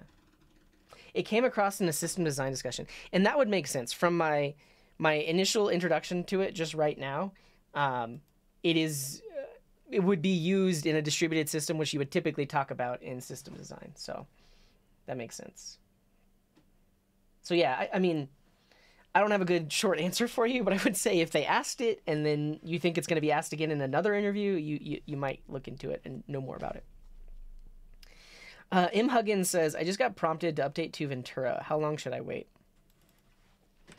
I don't know. Um, let's look into it. So I also got the same prompt and I didn't update. Um, how long has Ventura been out? That's the first question to ask. Um,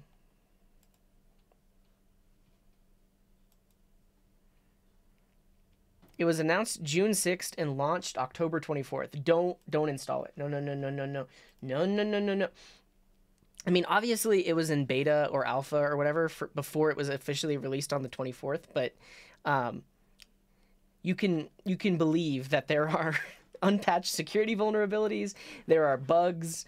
Um, honestly, I would wait a year. I, like, I like to wait a year before uh, before upgrading uh, especially if the current OS that you're on is still getting updates. Like I'm on, um, what is it, Mavericks? No, Monterey. I'm on Monterey, and Monterey um, was released October 25th, 2021. So I, I, I, I upgraded less than a year after it was out, but I only upgraded to Monterey like two or three months ago. Um,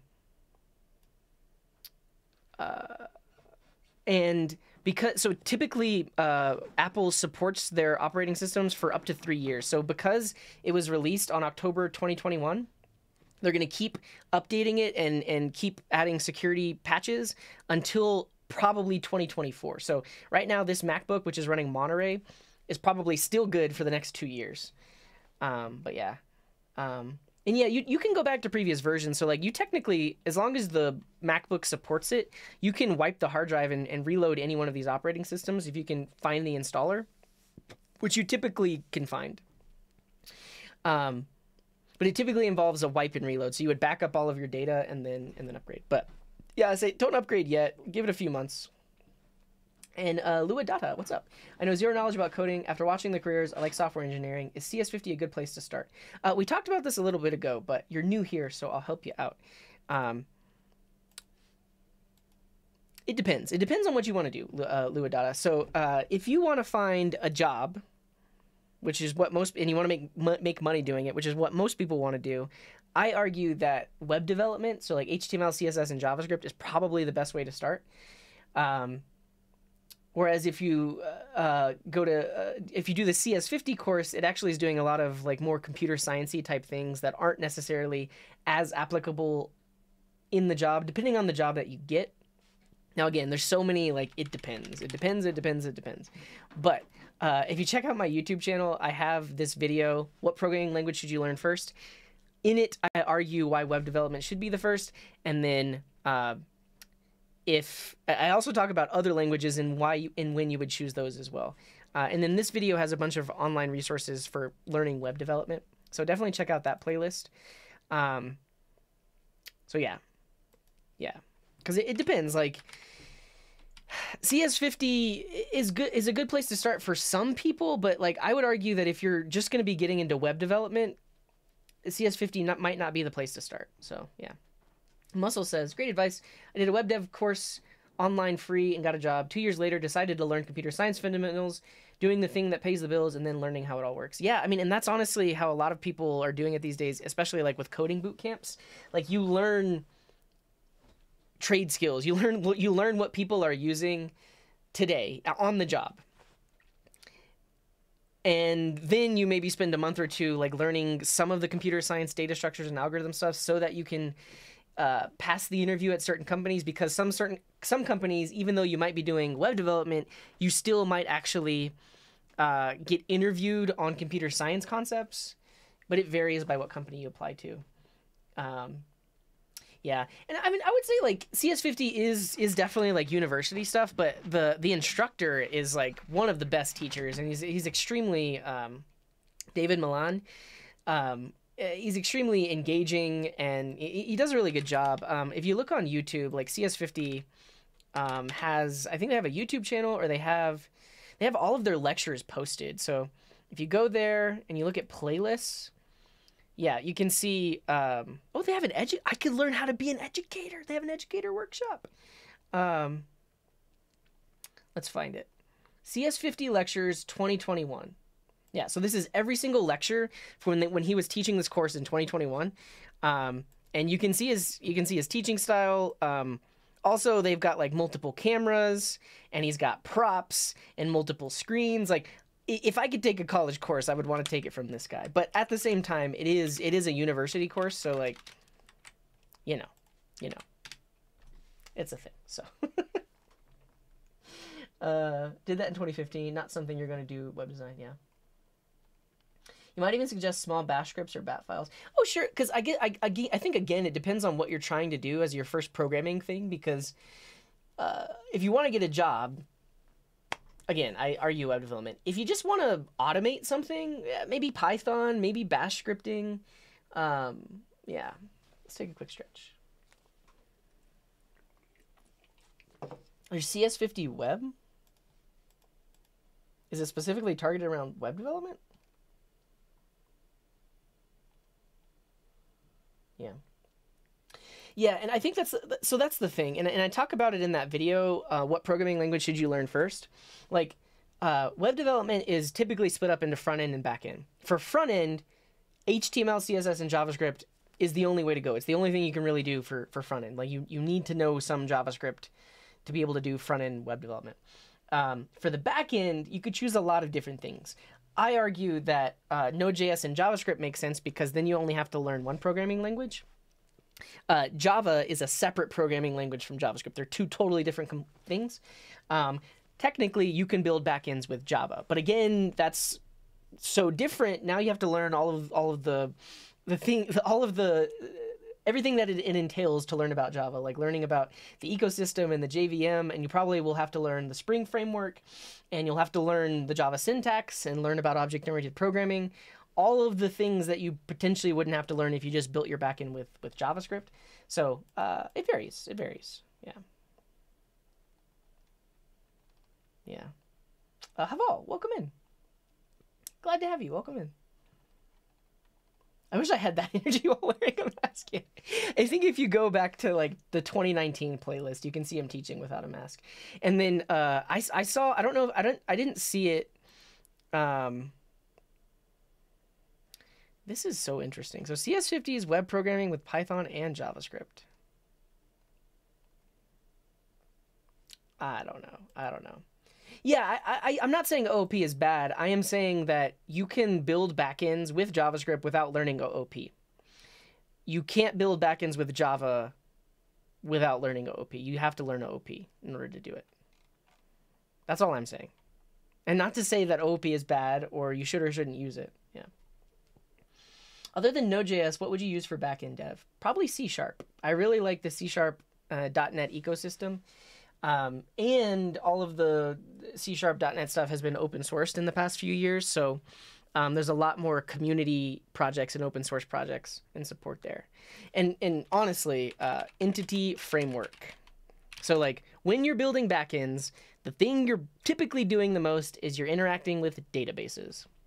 And Entity Framework is one of the best ways to interact with databases. I don't know what exists in the Java ecosystem, but Entity Framework is the best thing I've ever. Entity Framework is better than than Prisma. Like a lot of the things that Prisma does was in, was even inspired by Entity Framework. Um, there's also like Active Record, which is the uh, uh, Ruby thing. Um, a lot of things were inspired by Active Record, but Entity Framework is top notch when you're dealing with database interaction, and, and that's typically why I would choose the uh, choose .NET because you can use Entity Framework with it. Prisma is an ORM for TypeScript and Node.js. Um, it's fine. I mean, the the one thing that I don't like about it is that it's a code generation tool. So you define your models and then it generates the, the client code for you, which I'm not the biggest fan of because it means every time your models change, it has to regenerate that code. Um, it's fine it's fine. It, it, has really good TypeScript support, so you get really good like uh, uh, type inference and type definitions across your code, code base. Yeah. I don't agree with this video, but I liked it. What was it? Object-oriented programming is bad. Uh, who did it? Brian Will, yeah. Um, there's a lot of like uh, a lot of videos like this where like the title just itself is triggering for a lot of people, and I think that's what like look at this. 1.8 million views on a programming video about object oriented programming. like, I'm sure they make some really good points, but at the end of the day, like, you're not going to stop these multi million dollar corporations that are in business and are using object oriented programming. Like, they're not just going to change overnight. You, are not going to get rid of it. And what's up, Rat? So, I don't have any courses on Udemy, but I want to. That's all of the time not streaming. I am procrastinating working on my course for Udemy. So, one day, one day in the near future, I'll have a Udemy course. Yeah. Yeah. Yeah, no worries, uh, Luadada. Appreciate you. Thanks for coming in. Yeah. Yeah, so Prisma is based. So what I have the most experience in the in the JavaScript ORM world is objection. Um, it does have TypeScript support, but I would argue that the the type completion in Prisma is way better than what you get over here in Objection. But I, I typically used Objection with Node.js before I was like diving into TypeScript. But Objection is one of my favorites. There's also um, uh, Sequelize, um, which is also nice, but I found to be a bit rigid for certain scenarios, especially with like. Uh, nested relational queries. That's typically where all of these ORMs break down. When you have like a deeply nested relationship and you need to do like joins across tables, ORMs, a lot of these ORMs are not good at that. They're really good at like basic selects, but once you start doing more complex queries, they break down. However, objection is really good at it. Um, so yeah. Yeah. Yeah. I believe if you start using OP techniques, whenever approaching a problem, you always want to solve it using OOP. Yeah, no, I, I, I completely agree with that because like you start to think about the problem in terms of objects and object interactions. Uh, and Donald Packies, thank you for the gift. That was out of nowhere. Appreciate you. Uh, and thank you for all these follows too. But yeah, hearts in chat for uh, Donald Packies. I appreciate that. Hopefully you're doing okay, Donald. But yeah, once you start to learn about OP, you start to solve problems that way. Similarly, once you start to learn about functional programming, you start to think about and solve problems that way too. Um, yeah. So my first Udemy course is actually going to be an introduction to modern web development and React. Yeah. Is AI a real threat to web devs? Uh, not not anytime soon, but eventually I think it will be. I don't know. Why not put courses on Pluralsight? Uh, I just I just know that Udemy has like a really big user base. So like the main reason I'm going to start with Udemy is uh, so many people go here and search for I want to learn web development, and then they buy uh, a course. Did I spell that right? they, so Colt, the Colt Steele course is probably the one most popular one, and and then Angela Yu, but Coding Garden needs to show up at the top of the results here when you search for web development and then I'm just going to build my own course platform so I can keep more more of the more of the money, and I can pro- provide um, uh, price parity. So like if you're in a certain part of the world, you can pay less money for the course than if you're like in the U.S. for instance. Any advice for updating extremely outdated dependencies? That's my current project at work, and it breaks everything. Yeah, one step at a time. So, um, upgrade one dependency, run all of your tests, and make sure they still pass. And if you don't have tests, now is the time to write tests. So, uh, all of the pieces of code that are interacting with and using that dependency, and Zero Turner, what's up, dude? Thank you for that for that resub. But all of the pieces of your code base that are using that one dependency, you write tests for them. You make the upgrade, you make sure the tests still pass, and then you move on to the next dependency. It's just a one step at a time, and really the only way you can do it confidently is if you have tests that you can run. Any advice on job burnout? Been working for more than five years and having a hard time getting myself together to do any work. You need a, you need a break. That's that's it. Basically, you need a vacation. You need to stop thinking about work. Um, I am just now recovering from burnout, and it took me months. And drink, and that purple drink. Thank you very much for that. Was it ten gifted? Dang, thank you. Appreciate you. I don't know if I've seen your name in the chat before. Thank you. Thank you for the support. Uh, can I ask a different question? Where do I think coding will go as we get more and more AI support for doing it? Um, use exclamation mark ask. I realize I'm just reading the chat now. we have we have a way of doing this. So um, if you have a question, do exclamation mark ask, and then I won't lose it. It'll show up on on this website. What's the difference between Prisma and Knex? All right, I'll answer this just because I was talking about it. So it's the difference between an ORM and a query builder. So if you look at Knex.js, um, basically you write Knex code, and then that Knex code gets directly converted into SQL code. So for example, um, let's find an example. Anyways, they up. I I I, I complained about this last time. They updated their docs, and it was just so hard to find examples. um, I I honestly I don't really don't like it when libraries do that. Like they think they're doing better. They think they're updating their docs, and then they just make it so hard to find examples because it used to be like the select query was like front and center in the documentation. Now it's deeply nested. But if you look at this piece of JavaScript code, if you know JavaScript, you could potentially understand what this is doing. Invoking a function called column, passing all of the column names into it, invoking a, a function called select, and then chaining uh, from the from function. So this gets directly converted into a SQL query.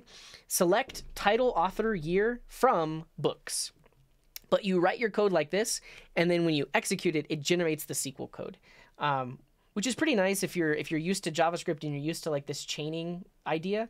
Uh, you you can you can craft some pretty elegant queries purely with JavaScript that eventually get turned into SQL.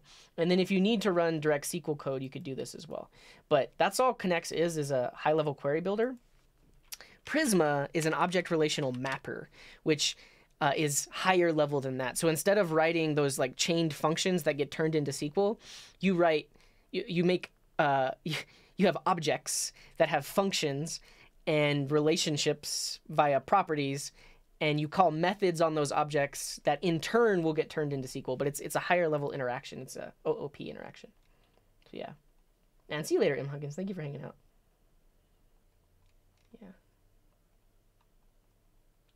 Yeah.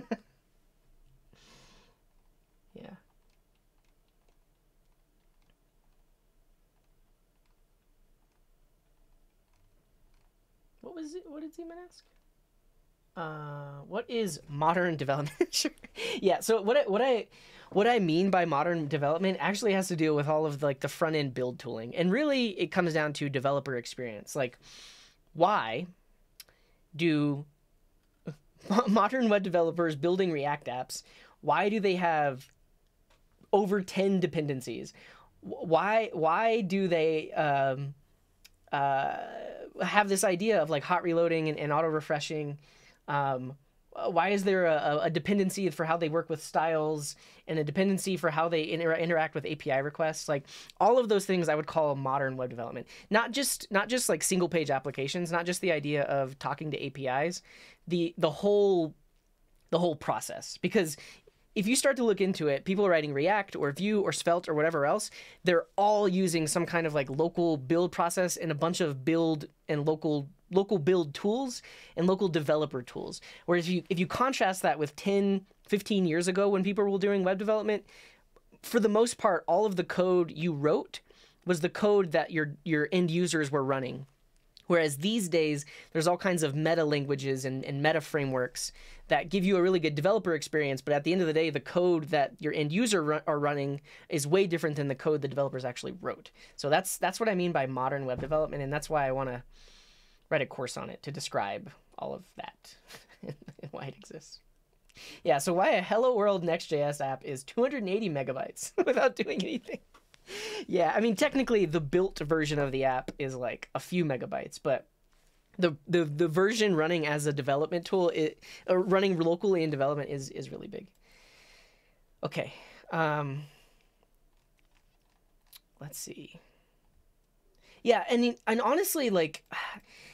Uh, DX, I think, is the is the best description for it, but that term is now being commandeered, just like how the term DevOps got commandeered and it like it doesn't for a lot of people doesn't mean what it used to mean because um, I was reading a like a super in-depth article on how developer experience more correlates to like um, uh, developer relations and um, like how you market your SDKs and, and stuff like that. But that's not what I'm talking about. What I'm talking about is what is my experience as a web developer building a website?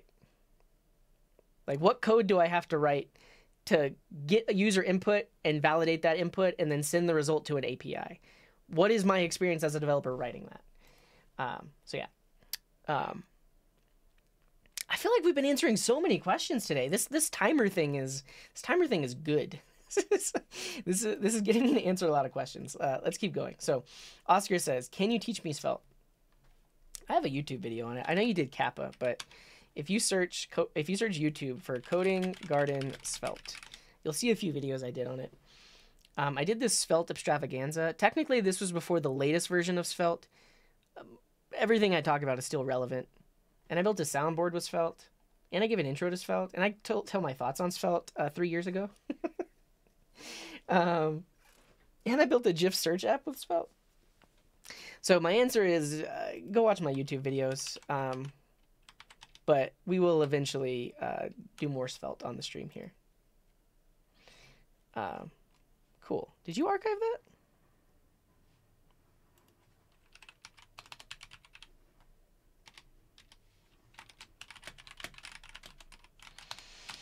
Well, it's gone.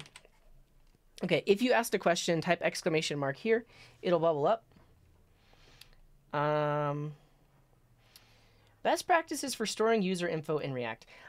I don't have a good answer for this because it really depends. It, it, it there's so many depends. like it, it depends uh, on um, uh, what state management library you're using, if you're even using one, or if you're using the context API. It, it depends on if you're using uh, a, a, library or an API for um, uh, user authentication, or if you're just using your own built API for doing it. Um, there's a lot of depends here. I would say in general, in general, uh, typically after the user is logged in and they have a, a token or a cookie of some kind, um, you would make a request to a backend that will give you that user profile and you could put it in React state. And typically there are multiple places in your app that need access to it, like the nav bar uh, shows that you're logged in and like shows the user icon. And um, if you're on a specific page and you're a user of a specific type, you can see things that potentially other users can't see. So that specific part of the page would need access to that user info. So uh, in, in, in that instance, it would make sense to lift the state up so that the user object exists um, like in the store or at the top level so that any component that needs it could get access to it. Also for like routing, uh, client side routing and redirecting, that would make sense there as well. But I need more info. Like yeah, this is a very general question. I'm, I'm happy to give more info, but if you give me more specifics about um, what are you using for auth, what are you using for state management, I can be more specific. Do I play or have I played Minecraft? I've played it before. I don't play it that often. No. I know a, a while back somebody wanted to set up a Coding Garden Minecraft server, but um, uh, I just don't play. I don't play a lot of games. uh, Shootint is asking, have I ever tried uh, Django? Django, is it good for backend? Um, I personally have only done very basic things with Django, and a lot of people would argue that it is good for backend. Um, I don't have a lot of experience with it, but uh, if you if you know Python and you're trying to build a backend with Python, Django is one of your options. Your other option is uh, Flask, which is a bit more. Um, I spelled that wrong. You should still find it, but Flask is a bit a bit more bare bones than Django. Django has a lot more built in, and then Flask is just all about like really building really simple APIs for the most part. But uh, to answer your question, it's probably good uh, because a lot of people use it. I don't have a lot of experience with it. What's up there? Hey, I don't know what you mean. Uh, nothing. I'm doing good. Doing good. Um, do you know if there's an entity framework for MongoDB? Uh, no idea. I would I would search it the same way that you would. So let's let's see.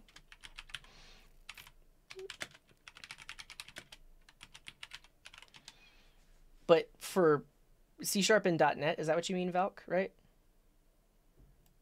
Oh, apparently you can access it with MongoDB or with Entity Framework 6. This is an old answer. Whoa.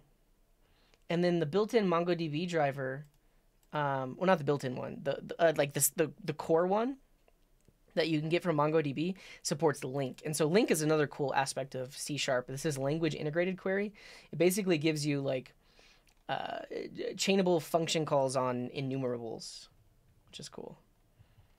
Um, so entity framework six Mongo.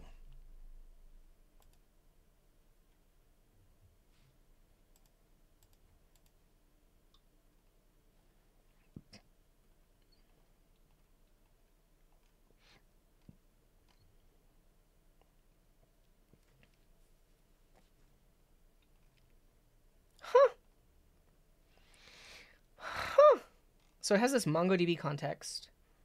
Apparently that's a thing.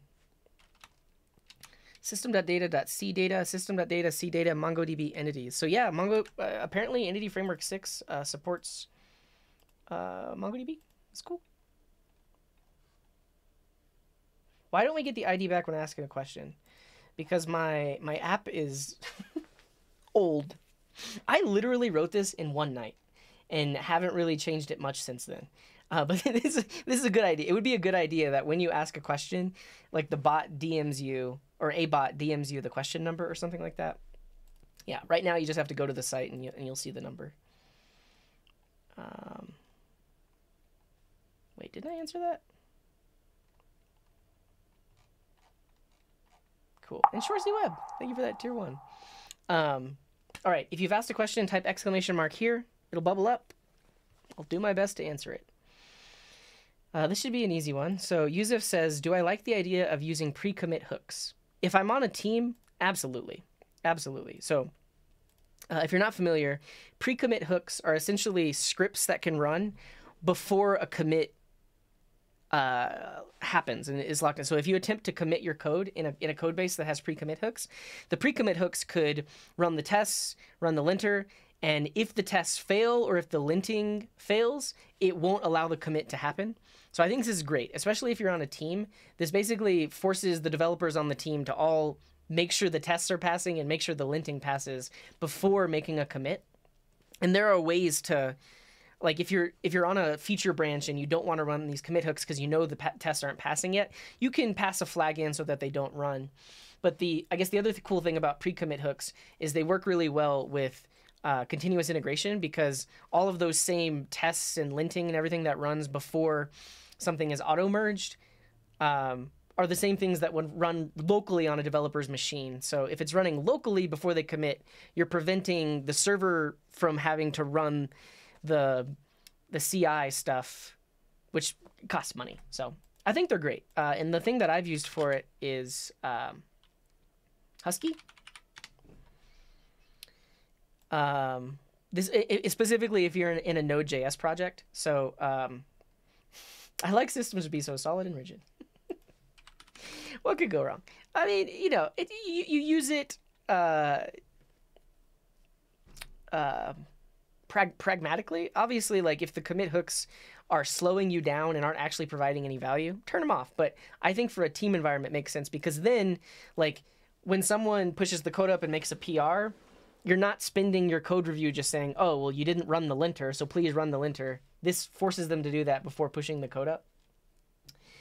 Um, so that's a thing. I don't know if anybody in chat. Do you have other suggestions for like pre-commit hooks?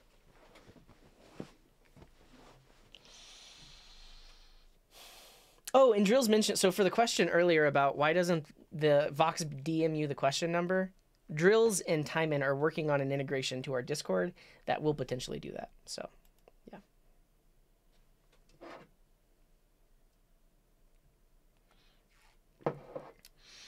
Okay.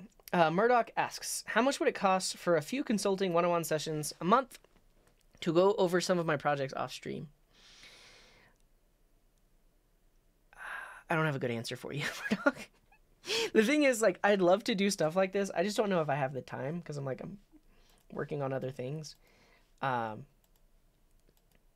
DM me, and we'll talk about it offline. But eventually, like, this is something that I want to offer, and it's also like a potential like revenue source for me. Is I could provide uh, one-on-one and mentoring sessions even for people in the community, but I just don't really have the time right now. But DM me, Murdoch, on on Discord. I'll, I'll talk to you. We're using Husky with lint-staged as a pre-commit hook. Yeah, yeah, that makes sense. Um, how to deal with incompetent team members? I I don't know. I don't have a good answer. I guess it depends on like what are they incompetent at? Is it like you tell them to do something and then they don't do it or they do it wrong? Or are they like confidently wrong where they're like way too loud and way way too opinionated when at the end of the day all of their opinions are like very wrong um yeah oh are, are you a core contributor to discord js I, I did not know that drills that's cool that's cool that you're on my mod team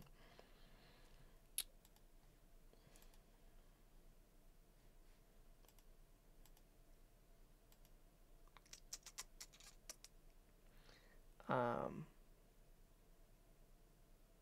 not on this uh, GitHub account. Nice. Glad to hear it. Yeah, Discord JS is cool. It's how you in, build like bots for for Discord. Uh, and Valk is saying, at which perspective? As an equal? As a yeah, I guess that's the other thing. It's like, are they incompetent and they're your manager? Are they incompetent and they're have they have the same title as you? Are they incompetent and they're a junior developer? Like, I guess it depends there as well. Oh,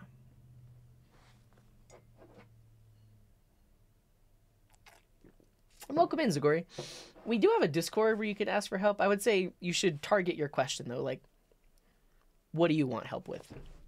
Uh, we have a uh, a project sharing channel in our Discord where you can like submit your portfolio and like ask for feedback. But yeah, yeah, yeah. But I guess to answer your question, part time married, it depends. Like, if they are an equal, don't f with my code. That's the incompetency. Um, that really just comes down to okay, so like they they mess with your code or like they they push a commit. So I guess it also comes down to like comes down to like team dynamics, right? And and the way that you have the development environment set up because if it's possible for anyone on your team to make a commit and then push to master, the process is wrong. Like you you you need some sort of gatekeeping so that people can't just overwrite your code and push it to master. And that typically involves um, like requiring code reviews, uh, locking branches. So depending on what you use, whether it's GitHub or um, uh, GitLab or Bitbucket, they all have a way of saying the master branch is protected, meaning nobody can push to the master branch. It has to be uh, merged, and that uh, pull request needs to have been reviewed by like one or two people. So you can set that set that up as a process that will prevent people from like overwriting your code. Now, if you have that process in place and they submit a PR where they overwrite your code, well, then now it potentially becomes a, um, a, a conversation because it's like, hey, I noticed that you overwrote the code right here. Why did you do that? Um, this is you've added extra code or you've potentially removed some of the safeties that my code had. So um, let's actually uh, scale this PR down a little bit and make sure that you're only modifying the things that need to change for this specific feature. Like that's a constructive conversation that you can have with that competent team member. Um, but but one thing I would look into is like uh, GitHub um, uh, like lock branches. So um, managing yeah branch protection is the thing. So you basically can say that um, no one can push to master, and it has to be from a pull request, and that'll prevent people from just like straight up overwriting your code. Uh, but again, it depends on if you're using GitHub or, or GitLab or whatever else. They all have this this idea of branch protection. Um, so yeah, I guess that's my answer. I don't know. that you can you can be constructive about it, but I think the process will help because if there's no process in place, then there's no guardrails to prevent them from being incompetent. So, how to deal with an IT lead who can't export a SQL database? Well, you, you do it for them. I mean, at the end of the day, like get on their good side because um, if they got to be a manager or a lead without actually knowing anything about knowing anything technical, that means they're really good at networking. Um, and they're they're good at being a, an employee. Which means if you get on their good side, then they will help you with uh, uh, promotions and, and getting on the good side of the higher ups as well. Which also means that you potentially work at a company where non technical people are in charge of promoting technical people, which is not always a good sign. But at the end of the day, like I have worked at companies like this, so yeah. We work on a huge micro front end, and few um, of the I guess the the pull requests are just atrocious. Yeah, but I think like that's why pull requests exists because they're there to start a conversation. They're like, these are the changes I've made. What what's wrong with what I did and, and how can I make it better? So I guess let's let's don't think about it as like a burden when you're there re- revealing that pull request. Think about it. Okay, like how can I help this person grow as a developer? Like how can I help them understand in a constructive way why what they did was wrong and what they can do to improve it? Um, but yeah, and Alana, welcome in. yeah, I guess that's the other thing is uh, maybe not that like non-technical people are promoting. Maybe the person that's in that IT lead role is the brother of the CEO of the company or something like that. Um, not pull request. What is Piral? I, I don't even know what this is.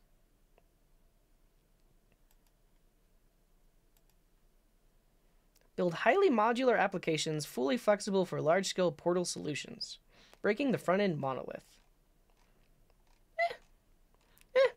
I think the other aspect of is like if if any developer can like can use anything they want, like Angular or Vue, and you like you haven't uh, set up like what the preferred thing should be, then you could run into to issues of like there's too many variances, right? Like even you as someone reviewing the pull request, you may not be an expert in all of these, so then it's harder to re- review the pull requests um, if you don't know the thing that they use. So you could like force them to use a specific thing. I don't know. I don't have a lot of experience or any experience with micro front end, so. But thank you for your question. At the end of the day, I think that my answer is just try to be constructive as possible. uh, cool. I think I answered this. Uh, how does CJ's beard stay up? Do you mean my mustache? I trimmed my chin hair recently. And HTTP 404, welcome in. What do you mean, Timon? do you mean Do you mean this? My mustache? I use mustache wax. Hmm. Yeah. All right. Uh, if you have asked a question, type exclamation mark here. It'll bubble up. I'll do my best.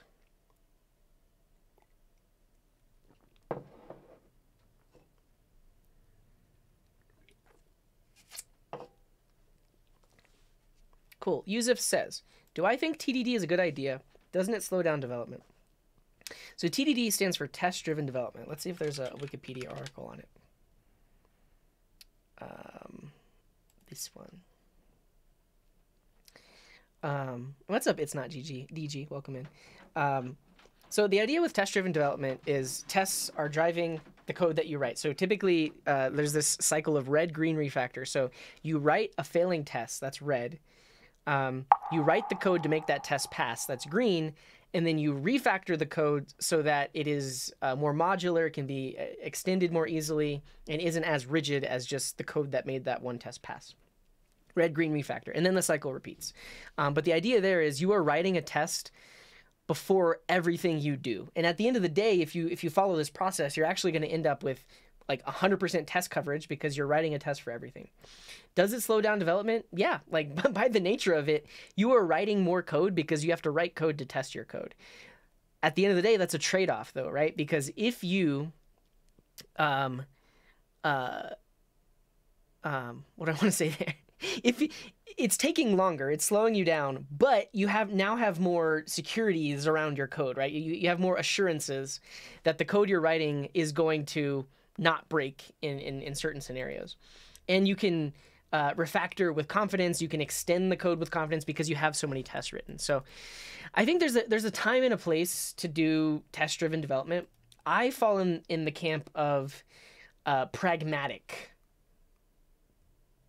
testing, not even test driven development. Like if you if you've if you've seen me um, if you've seen me write tests on stream before, a lot of times I will make the tests pass bef- first instead of like seeing them fail, which is not good. Like there's a reason why you want red, green, then refactor. Like you want to know that the code you've written actually works, but um, I think like there, there are certain aspects that make sense to write tests for, especially like if they're if that code is being touched a lot or if you know that code is like very error prone, that makes sense. And that's usually where I what I fall into is I write tests for what makes sense, not tests for everything.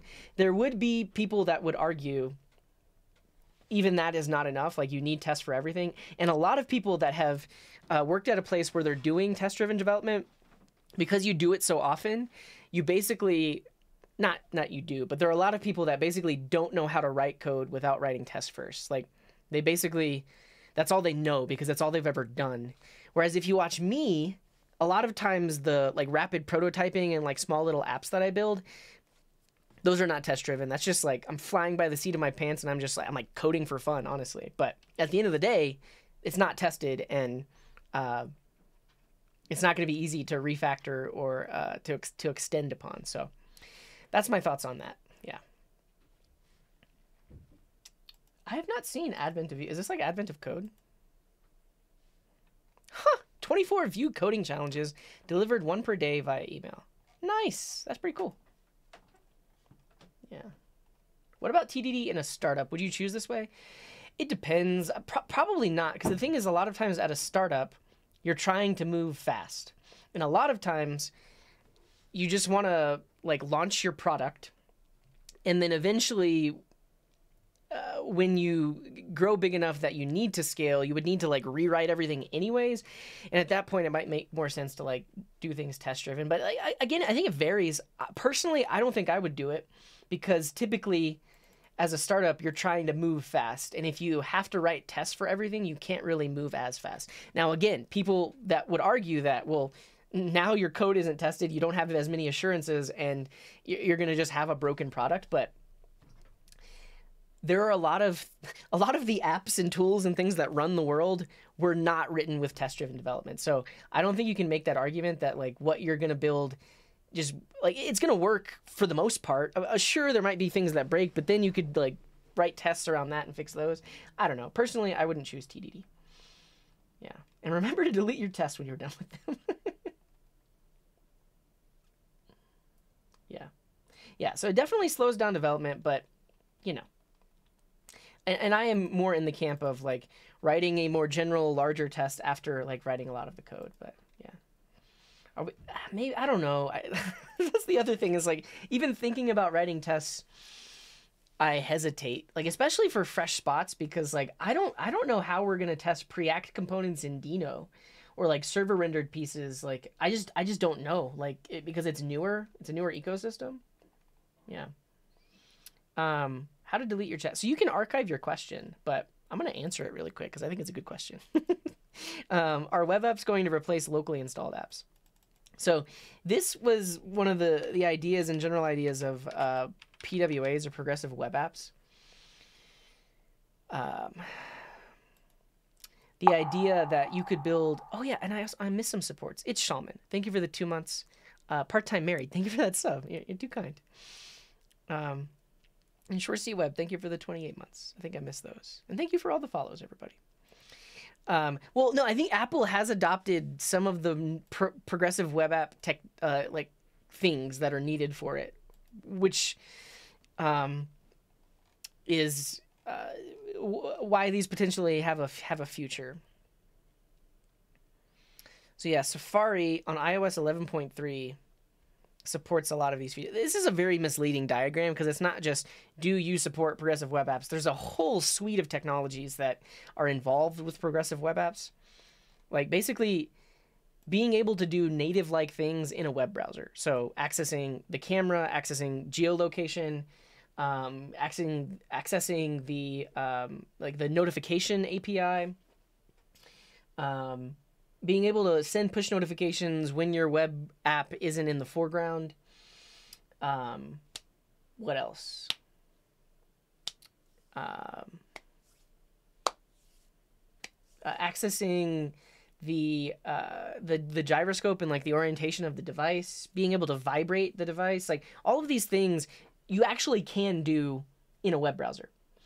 And I, uh, to the point that like if you're gonna build a PWA, you might as well build a native app. Like I, I disagree. Like uh, the reason you would be building a PWA is you actually have a much larger reach because every device has a web browser not every device and, and every person is, typ- is technically going to install your native application like through the app store whereas if it's a web app they literally just have to go to a url um, and it's all web technologies meaning you can have a single code base that targets multiple platforms without needing to distribute it in the app store without needing to use like react native or flutter to, to or, or even like quasar to, to build the cross-platform thing and then you have to distribute it in the app stores and stuff like that well, yeah, I, I, it all comes down to like obviously like ease of installation and stuff like that. Like you could argue that it's harder, but eventually it won't be as hard. And I think that's what we're getting at here is like eventually when all of this stuff is supported and people can install progressive web apps in that way, then I think yeah, I don't think they're going to fully replace native apps. Like there are certain things that like should be native, but there's a lot of things that you could do um I guess I just keep forgetting to set my timer. there's a lot of things you could do that uh, you don't need a native app for. Yeah. Yeah, but I, I think like I, I think here's the thing to think about, Ray Good. Like if the end user doesn't have to install it, like they go to the website and then the browser just supports it and then like there's a button in the bar that just says like install the app, I think your grandma could do it. That may not be the case today, but eventually we're gonna get there. Um, and honestly, it, it is the reason why I have focused so much on web development in my career and in my personal life. Like I, I used to be a native Windows desktop developer, um, and then I learned about all the things you could do in the web browser, and uh, I was like, this this is the future. Like APIs and single page applications. That's how everything is going to be. Um, that's the future. like there's there's like it's it's so much easier and like and honestly like the programming pro- programming languages and the frameworks and everything else are so much easier than a lot of this native stuff and require less setup that like you know, it's the future. Yeah. Yeah, so YouTube is a progressive web application and you don't even you don't even know it. And what's up Namaste Geek? Welcome in. Yeah. So that, really that's my only argument is like obviously today it is not that easy, but eventually it will be. So yeah. how many coding shirts do I have? I have three. I have this one, and then I have the red one, and then I have a white one, a black one that just says code in white. Uh, which reminds me to tell you all about my merch. can, so so this shirt was a one-time deal. You had to be following Coding Garden at the time to buy this shirt. You can't buy it anymore, but we do have this one, the code shirt, and then this one. We also have the dark JavaScript shirt and the now that's what I call code t-shirt. So technically I have this one too. So technically I have three code shirts.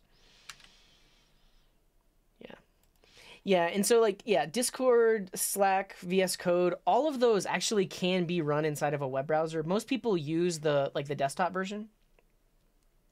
Uh, yeah, you know, I, I get what you're saying, Raygood, and I think it's important to have like a dissent, like not necessarily a dissenting opinion, but a different opinion about it because I think you're completely right. Like the the experience these days isn't the best, but I argue that we're not far away from it being a good experience because all of the pieces are in place. So, yeah. All right. If you've asked a question, type exclamation mark here. It'll bubble up. Uh, what are my thoughts on Create T3 app? It seems fine. I think like in general the whole idea of the T3 stack is type safety from the front end to the back. and I think that is a good idea. That is nice to have. It's a good developer experience. It's a good team experience. So I think it makes sense. I personally don't really use Next that much, and I don't really like React. So I would probably make my own stack that uses uh, TRPC, which is like the core of full stack type safety, and then also Prisma, which is like a really good uh, JavaScript ORM. So like combining these two, but then with some other uh, backend technology like uh, Nuxt or Svelte is probably what I would do. Yeah. I know of a Sass style tool for React Native. I have no. I don't have a lot of experience with React Native, but I but I don't know. Um, yeah, and there is Vue Native. So there's actually Native Script, and then there's Native Script for Vue. That's probably what you would want to use if you find this thing called Vue Native. It actually is just a wrapper on top of React Native, which is deprecated and no longer maintained. So don't use this. but native script is maintained, and then they have like a plugin for using Vue with native script. But native script is like the general thing, whereas React Native is specific to React. Yeah. Yeah. See you later, Jules. Thank you for hanging out. I didn't say that, Oscar. I didn't say that. So one one of the uh, apps I, I have been working on in my spare time is TRPC, Prisma, and SvelteKit. And I also tried out TRPC, Prisma, and Nuxt 3, but Nuxt 3 is still a release candidate. Um, but yeah. Oh yeah, and then I, I don't use Tailwind at all, so that wouldn't be in my stack. Um, I it.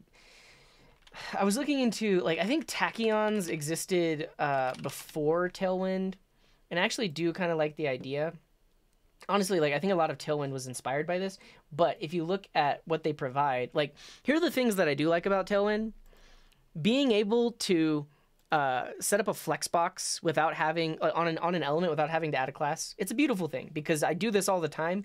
Literally just create one css class uh, because i want something to be a flexbox tachyons has a css file you could add to the page that give you these flex flex utilities. Uh, spacing utilities are really nice too, like these padding utilities.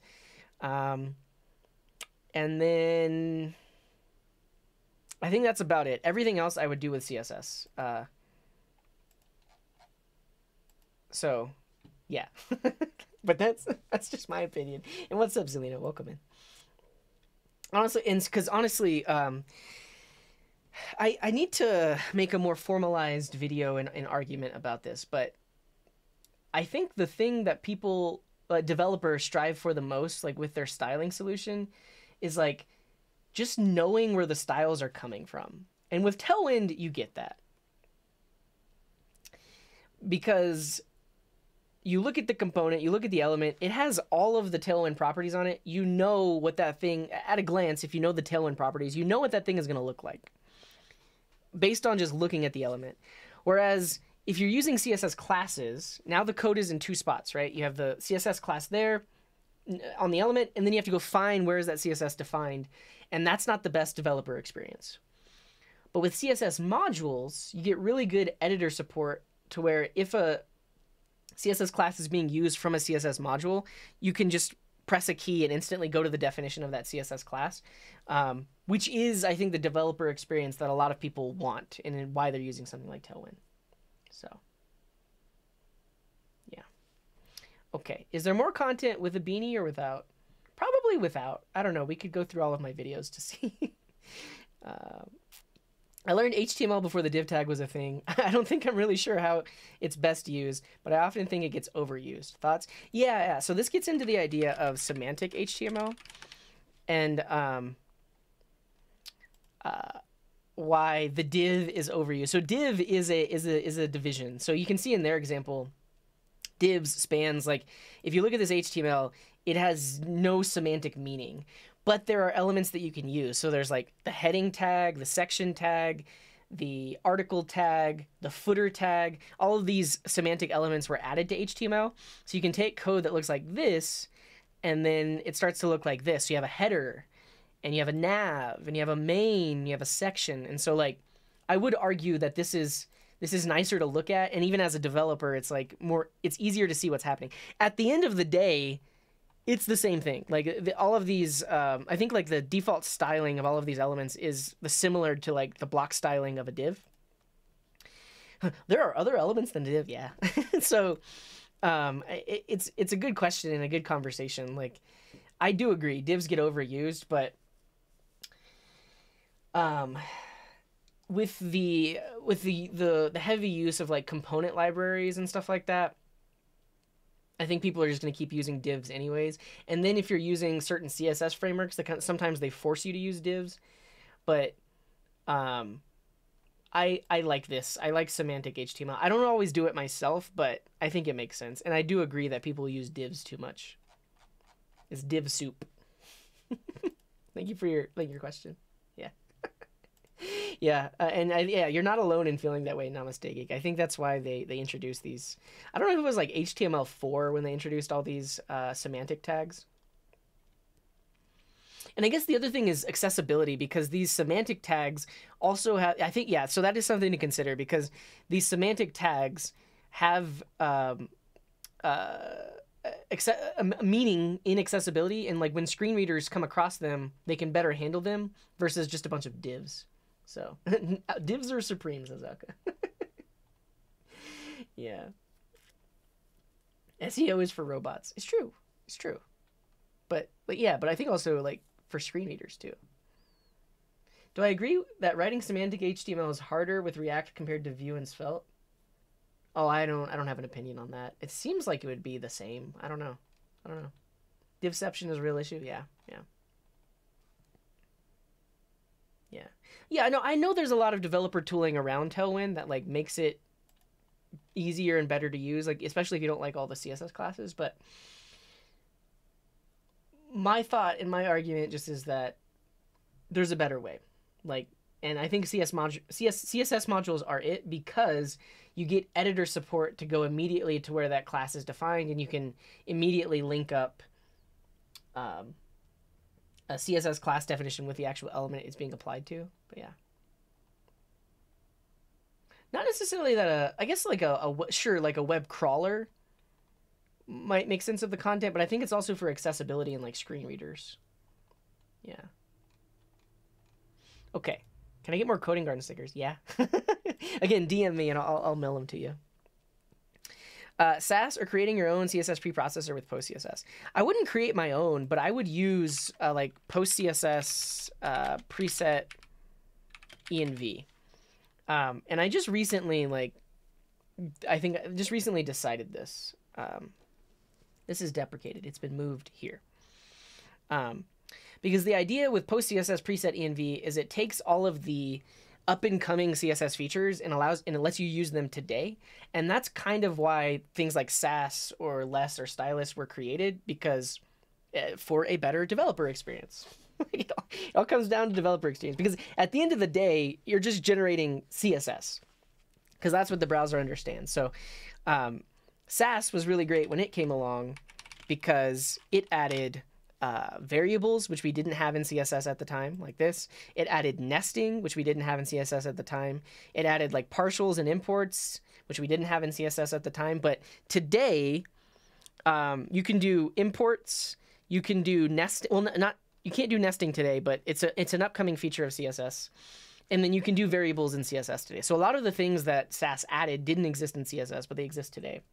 And then, so my, my reason why I would use PostCSS is it lets you use the syntax of the future today. So if you're going to be using CSS, if you're going to be using variables, it makes sense to use the variables, the native variables, uh, rather than uh, like using Sass to do it. At least uh, that's that's what I'm thinking about it. Um, so yeah, if I had to start a project today, I would just use PostCSS. I don't think I would use Sass. Yeah, yeah. So if you look at the uh, PostCSS website, uh, I think it's like still a stage zero. Um, but if you look at uh, nesting, nesting, the syntax is slightly different um, from how Sass did it because it actually requires you to use this ampersand. But um, this is a stage zero proposal in the CSS language um, but it will allow you to do the do the nesting here. So yeah, it's coming. It's coming. Um, and what's up, Traxxas? Uh, what do I use to code? I typically use uh, VS Code. You can see all of my um, my settings and, and stuff there. If you go to go to that Git repo, it talks about what I use. And Killer's saying, what I don't like about CSS modules is that it makes it easier for devs to be inconsistent. Yeah, I would agree with that because Tailwind does add, um, or it basically gives you consistent sizing across your the CSS classes that you're using. Whereas if you don't have that, um, you're not. Um, you, you have to come up with like your own design system to do that. Um, someone recommended uh, this thing. I need to go with the, the packages that I've starred. What is it called? Open props. This, I think, is the solution to that. So you essentially uh, add these variables to your page, and then you use them everywhere in your code. So it's similar to how Tailwind has a predefined like radius to or like padding to or margin to. This gives you CSS variables with all of those sensible defaults. Um, so you can just import it and now you have access to all of those variables and you essentially have like a more consistent base design system like you would with uh, Tailwind. So I would argue that, yeah, like if you're if you're going to do it yourself, use something like this because that's one of the benefits of Tailwind is you have like consistent sizing across like the things. So, but this is a super cool idea. Yeah.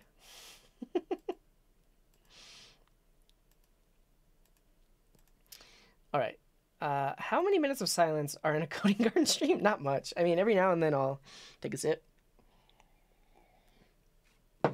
Or every now and then I'll just be like thinking when I'm coding.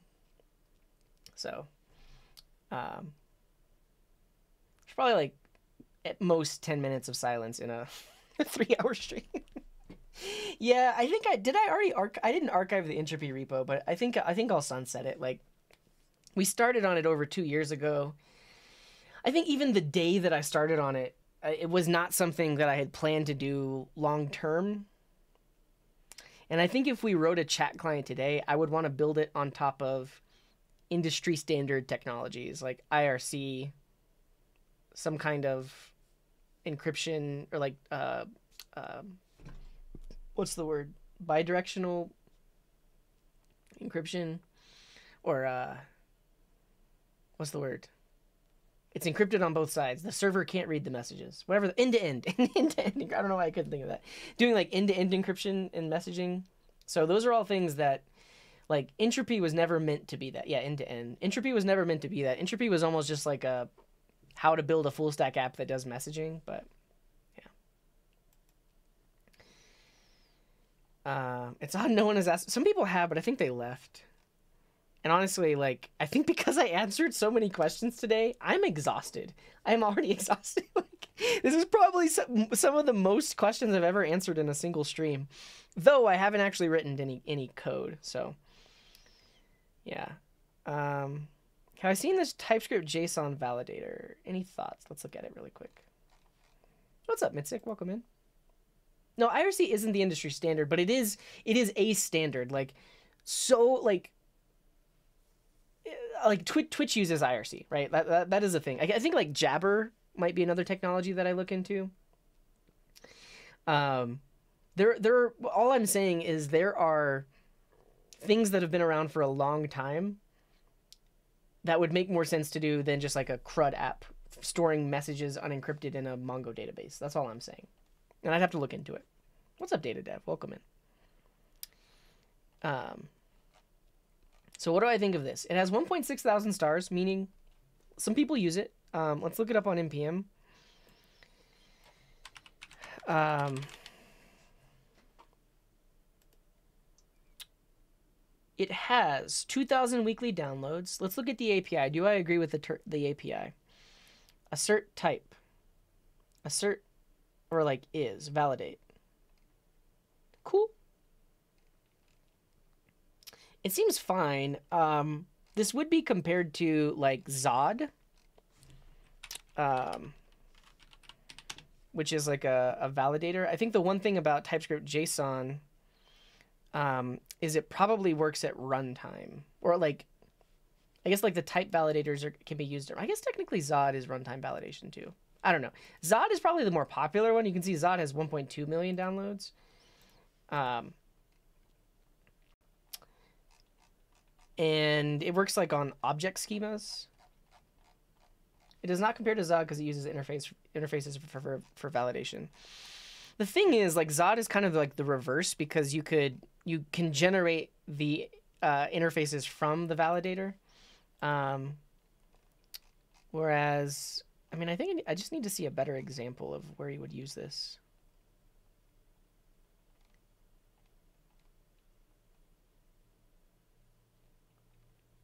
Oh, I see. You're passing in the type and then it validates it from there. I see. I see. Because you're passing in the type. Yeah, there's a there there are some libraries that um, that will do that that are not called TypeScript JSON. um, I'm trying to think of the one that's used by um, uh, Feathers JS because the Feathers V5 um, is going to be is the next version of Feathers, and then they introduce this idea of um, schemas. And then it uses a thing called Typebox. That's why I even looked it up, because Typebox is another library for this. Mm, that's not it. JSON schema type builder and type resolution. Um, so the, the thing about Typebox is it lets you use JSON schema. I don't know if uh, the TypeScript JSON lets you use JSON schema. But that's one of the nice things here is like JSON schema is a standard that's used like not just in the JavaScript world, it's used on like other backends and stuff. So you could take the types defined there and like use them, create validators for them.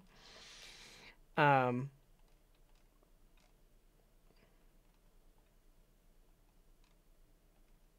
Let's say you have the following type. Oh, oh, true, Mark. It's they're like ty- they're like typo squatting if you don't install the right Typebox.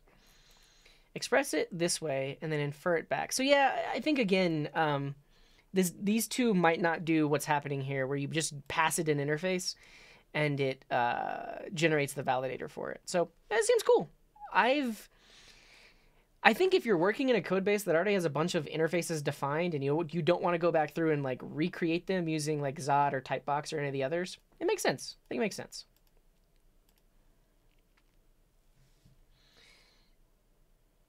How many more questions do I have to ask until I get the avatar thing correct? wait, wait, are you are you asking for help? I don't know. I don't know what you're asking. Uh, have I been streaming outside? Yeah, yeah. Um, you can see the, the, all of the the streams I've done um, over here on this link, um, and then I might in stream soon, eat some lunch, and then go for a walk and live stream that. So uh, definitely go follow my um, my personal channel um, because this is where I will do the IRL stream. So I'll be I'll be live a little bit later today uh, walking around. I think I think I'm just gonna go walk at a park, but it'll be fun to see. It's like a two mile trail around a park. Um, yeah, yeah.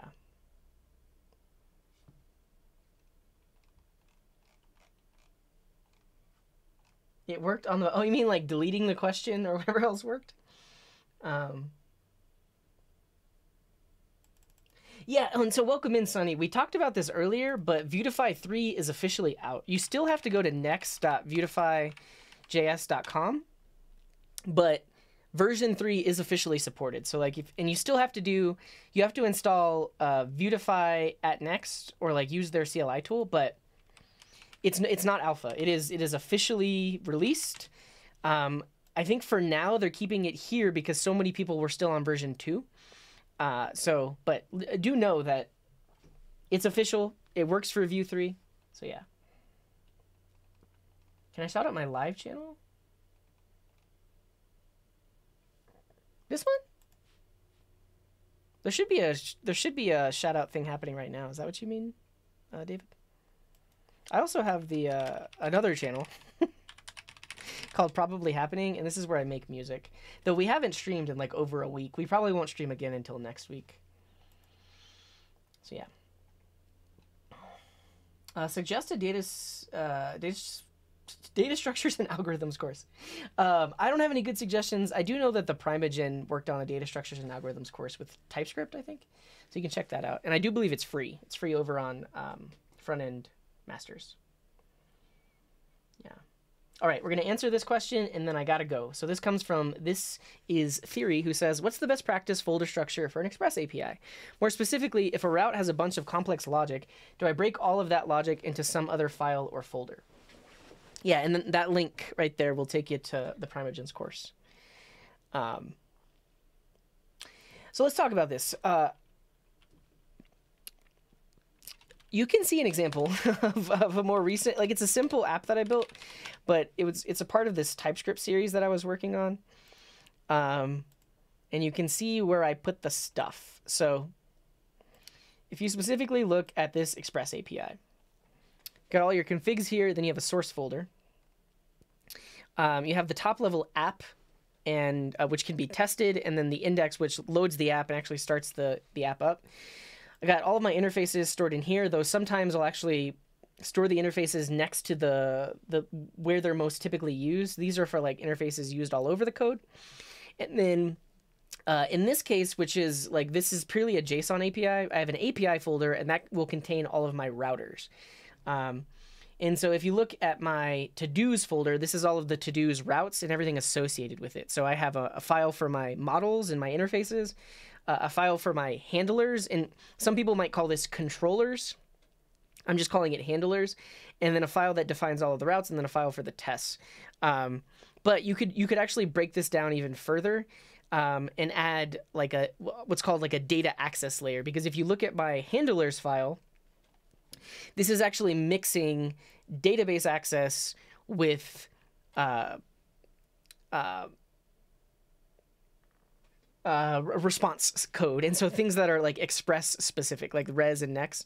So uh, a lot of people would argue that this is not good because I basically have intermingled my data access and my um, my request handling. So what you might do is a further abstraction where like anywhere that I'm talking to a database, I extract that out into a DAL or a data access layer, and then I would have a another file where all of the, the queries or data access are defined as functions. And then inside of the handlers, I call those functions. Um, so yeah. Yeah, and see you later, BTRSL. I, I didn't get to answer your bigger question, but but thank you for hanging out. So uh, this is one way I like to do it. Like especially as your app grows, it makes sense to break it down like this. Um, and then like the other reason why you would extract the the data access from here is that if you ever need to change your database, instead of having to go through everywhere there's a data query, if you extract it into more generalized functions, now that's the only place you need to update if you change your database or change your database driver. Um, so that's that's another thing as well. Uh, the other thing is I don't demonstrate it in this app, but this model file right now just has a single interface called to do. So a to do is an object that can have a content property and a done property. Uh, the other aspect of bigger apps is you have interfaces that define all of the different ways that, that you deal with this data. So, uh, for one, if somebody's creating a, do, a to do, like making a post request, it only includes two properties, content and done, right? It, it doesn't exist yet, so it doesn't include an ID property. And also, it doesn't make sense for the client to send the created at and updated at fields. So, the th- this is essentially a uh, an interface that describes the data that the API will be receiving. Yeah, and so Oscar is getting is is giving demonstra- uh, examples of how you would do this like with a user object. So and th- these are known as DTOs or data transfer objects. So like this is a to do uh, in transit. So a to do being created. A to do that has already been created is a to do with ID. So this is this expands on that interface and adds an ID property. But the only ever time you'll deal with that interface is if you're receiving it in a response. Similar ID with uh, a similar idea with the user object. So when someone when a user is being created, it probably needs like an email and a password and a username, something like that. But when you're listing users, you don't want to include that password property. So you would have another interface uh, that describes the user response data transfer object. So that's that's another thing for uh, how you would structure this app. And typically, all of those interfaces might define in this file, or you might have a separate folder called DTO or data transfer objects where you put all of the separate interfaces inside of as well. Um, so, yeah, if a route has a bunch of comp- complex logic, do you break it out? I think you break it out. Um, first of all, if it's like data access specific, yeah, break it out into a specific data access file. Um, and um, uh,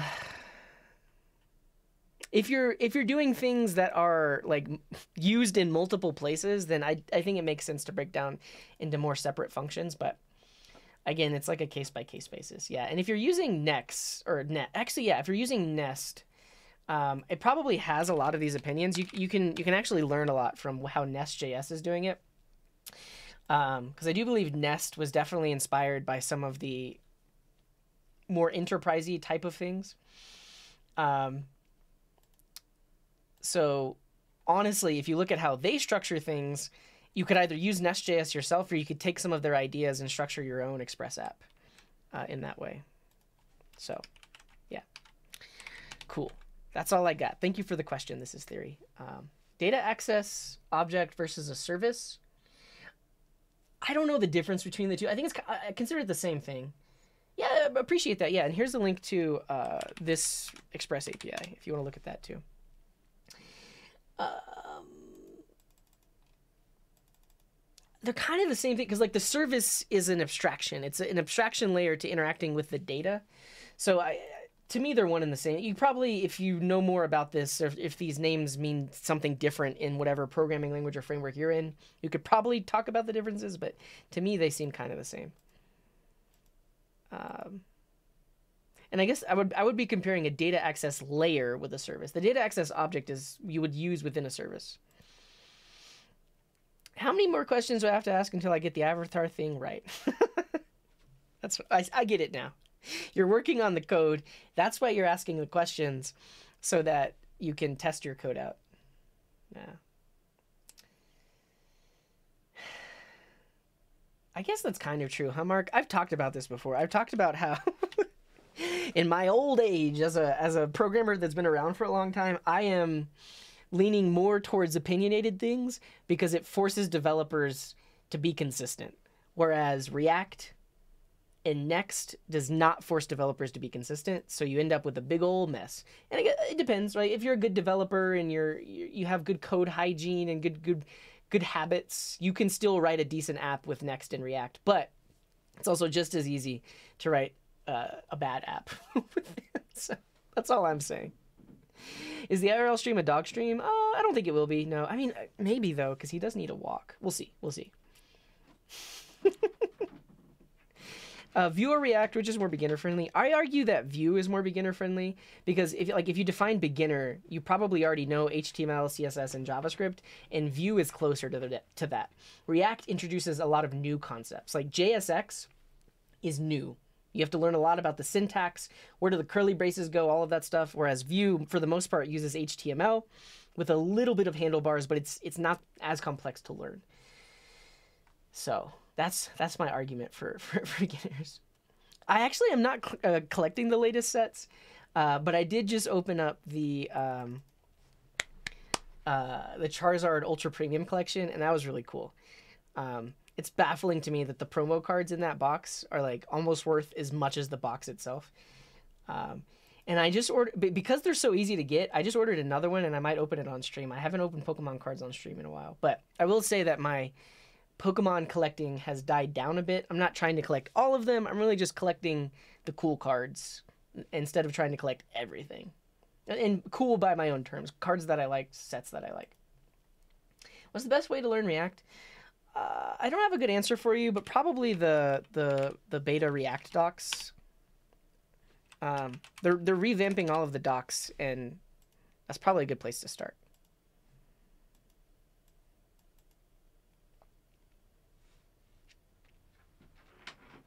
Cool. Um, I don't have a good answer for you on this Namaste Geek, but but I did. I think I talked about it in my last uh, Q and A stream because I added it as a video on YouTube. I don't know if you've seen it or not, but it's this: What programming language should I learn first? Um, if you just scroll to the description. I have timestamps. So I do have a timestamp for uh, do you want to make games? And then I talk about what are the things for making games. Um, you technically can build games with web tech web technologies.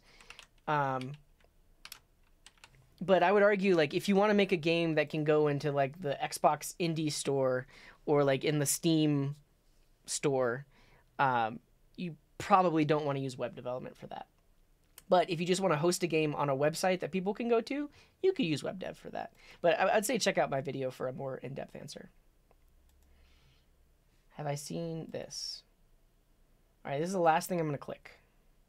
Component party.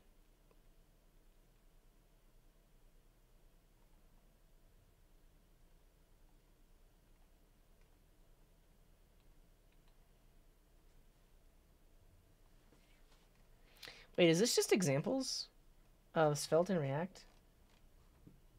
Yeah. Yeah, no worries, Namaste Geek. Hope, hopefully it has some good info. What am I looking at, Oscar? oh, you can compare them. Yeah, this is kind of insane. I should have built this. Like I've been I've been doing this for years. like if you if you if you look at my my YouTube channel and search for like Coding Garden uh, front end showdown or showdown or showcase, um, yeah, four years ago I built the same app with Vanilla, React, Angular, and Vue six, and then I did another one in 2020, um, which is a bit more relevant. Yeah, 2020. And then that one was a seven hour stream because I talk a lot. But this is this is this is kind of amazing, Oscar. Thanks for sharing it because it's basically like how do you do the same thing across all of these all of these frameworks so you can compare them, and like on the surface, Svelte looks the most approachable, like hands down, hands down. Svelte is the most approachable. Excuse me. Solid looks the most like React, and um, is probably more approachable for I don't know. I mean, that still looks like. I mean, this isn't a good showcase of signals because, like, it looks like React, but this is this is better and easier to learn than React because there's not all the these aren't um, like hooks. They don't have like the same rules of hooks. Computed state. Uh, no, I would argue that they didn't do it. They they should use memo here. Um.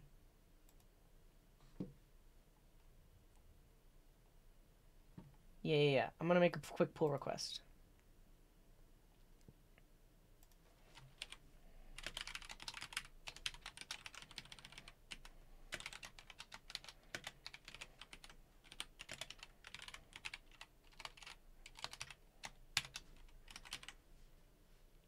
So now this this I mean you think about this as like a, a, potentially complex operation, and this won't be recalculated unless the count variable uh, changes.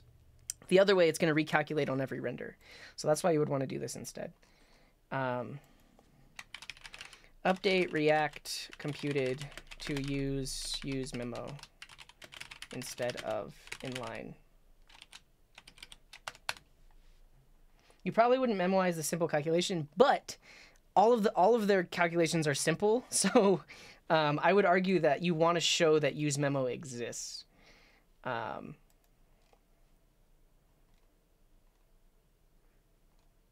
I don't know. I'm just gonna. Somebody might have made this pro, this proposition at one point. Um, I'm gonna create the pull request. Um, this simple example likely wouldn't require uh,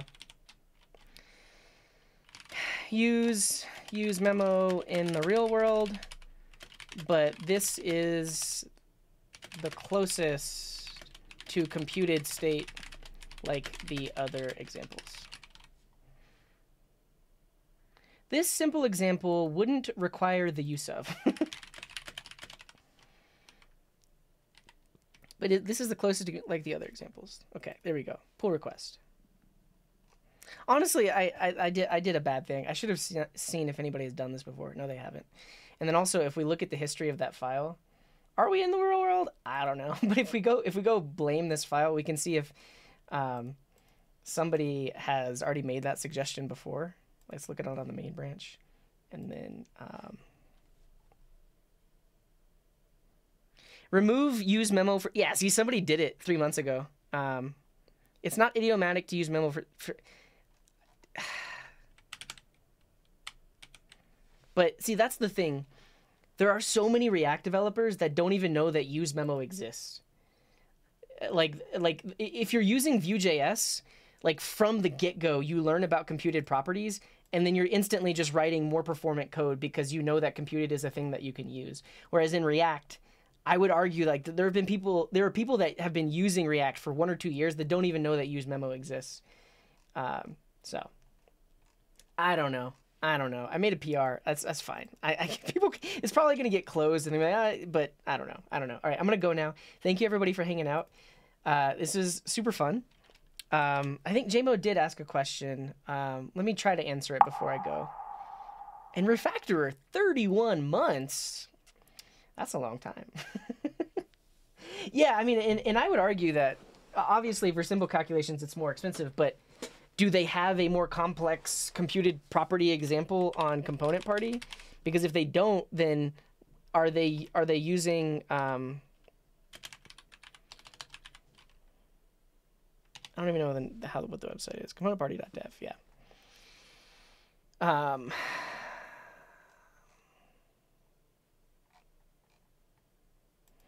Because if they don't, then how are people going to know that use memo is, is even exists? Yeah, Rask has never used use memo. What's the difference between yeah? So a use memo, uh, if you want to write it yourself, is the combination of a use state and a use effect because you could have a use effect that updates a state variable when certain things change. Same that use memo is the same thing with less steps yeah, I, am not even going to worry about it. I, they're probably going to close the PR anyways. Okay. Um, why does a new array created as props get all the array props changed when you change one of them?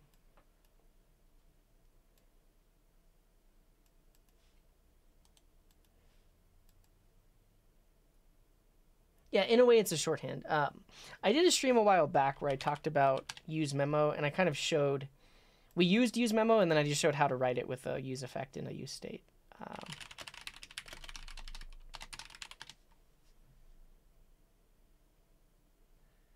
yeah, it's somewhere in there. Oh, this one has timestamps. I, I love it when I add timestamps to a, to a big long stream because you can go to uh, 3219 and find the um, the use memo example. Yeah, thank you. Thank you for hanging out, Namaste Geek. All right, let's see if I can answer this really quick.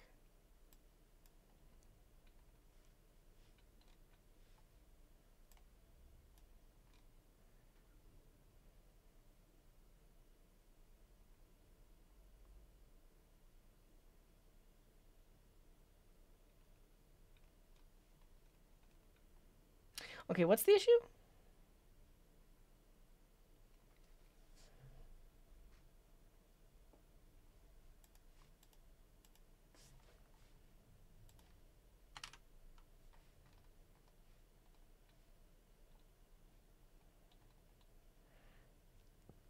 Okay, so you yeah, you bound the V model. V model at that index number property. Ah, because you're so yeah, this this is the answer. So uh, this is the same object for every single one. So because this is the same object, no matter where I type, these are all referencing the same object. Um, you would need to create a, a, new object for the fill. In this case, map runs a new function that returns a new object, so each one has their own object, so they don't modif- they don't change each other. But if you want these to behave the same way, you would basically like take this and define it outside here, like um, shared, like this. So if I put the shared one above and then return that same shared one in this example, um, now, now this this modifies all of them. Uh, if you want to fix it, you can do the, do like an inline IIFE that creates a new, or actually just create a create a function that. Um, um, well, no, that's not going to work because fill only takes a single value. Yeah, you can't do it with fill because um, yeah, if you want them to be unique, you have to use map because fill accepts an individual value, and it's just going to repeat that value in the array, and, and they all share the same reference. So yeah, you you want to you want to do the map version, um, and then yeah. So let me show an example with from. That'll be a little bit easier. So if you do um, array dot from, if you want it to be length four, so you can do this, and then this accepts essentially like a map function. Um, so you can just pass it in um, like this. And I guess you don't want the shared one. You want like this.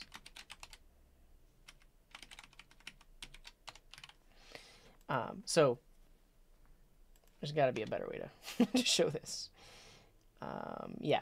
So uh, basically what this does is this creates an array and and does a map all in one go. So this, I mean, you have tiny arrays, you probably don't have to worry about performance, but this this is more performant than the map because uh, you spread the array, which is one iteration, and then the map is another iteration.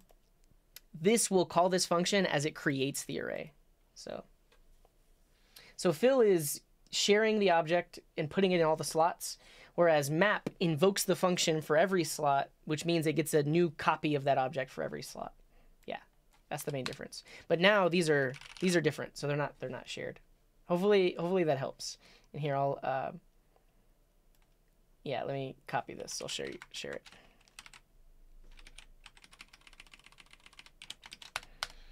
It's funny how that's the only code we wrote today. uh, again, uh, go check out my um, my personal channel, I'll be I'll be doing an IRL stream on there uh, in a few hours. I'm just gonna be walking around a park. Um, so if you want to see that, definitely go follow over there. Uh, also, I have a, a mailing list. Um, I guess that's true, Hunt Drills. Like uh, sometimes you just gotta talk to answer people's questions. But if you want to get notified when I go live, uh, join the mailing list. And um, I guess that's it. Also, check out my YouTube. I have a schedule, uh, and I'll be live again here on Friday. So if you look, if you check out the schedule, you can see when I go live as well. All right, let's go on a raid. And and thank you for hanging out or being here, Andreas. Appreciate you. Yeah, yeah. Oh yeah, and uh, if you want to support me, you can sign up for privacy. Um, Okay, what am I doing? Yeah, let's go on a raid. So here are our raid message. GG Alkas, uh, thank you for for hanging out. I just called you Alkas with an S. Has anybody ever done that? How you doing, Alkas? Um, if you're a sub, you could use that raid message. If you're not a sub, you could use that raid message. Never. Well, I'm gonna call you Alkas now. Alcy? Alcy, how you doing? uh, let's go on a raid. Um, and like I said, follow the W3CJ channel if you want to see my IRL streams. I don't know where we're going to raid, but wherever we raid, show them lots of love. Drop a follow if you like what they're doing, all that good stuff. Um, and wherever you are in the world, have a wonderful morning, afternoon, evening, or night. And until next time, here's this.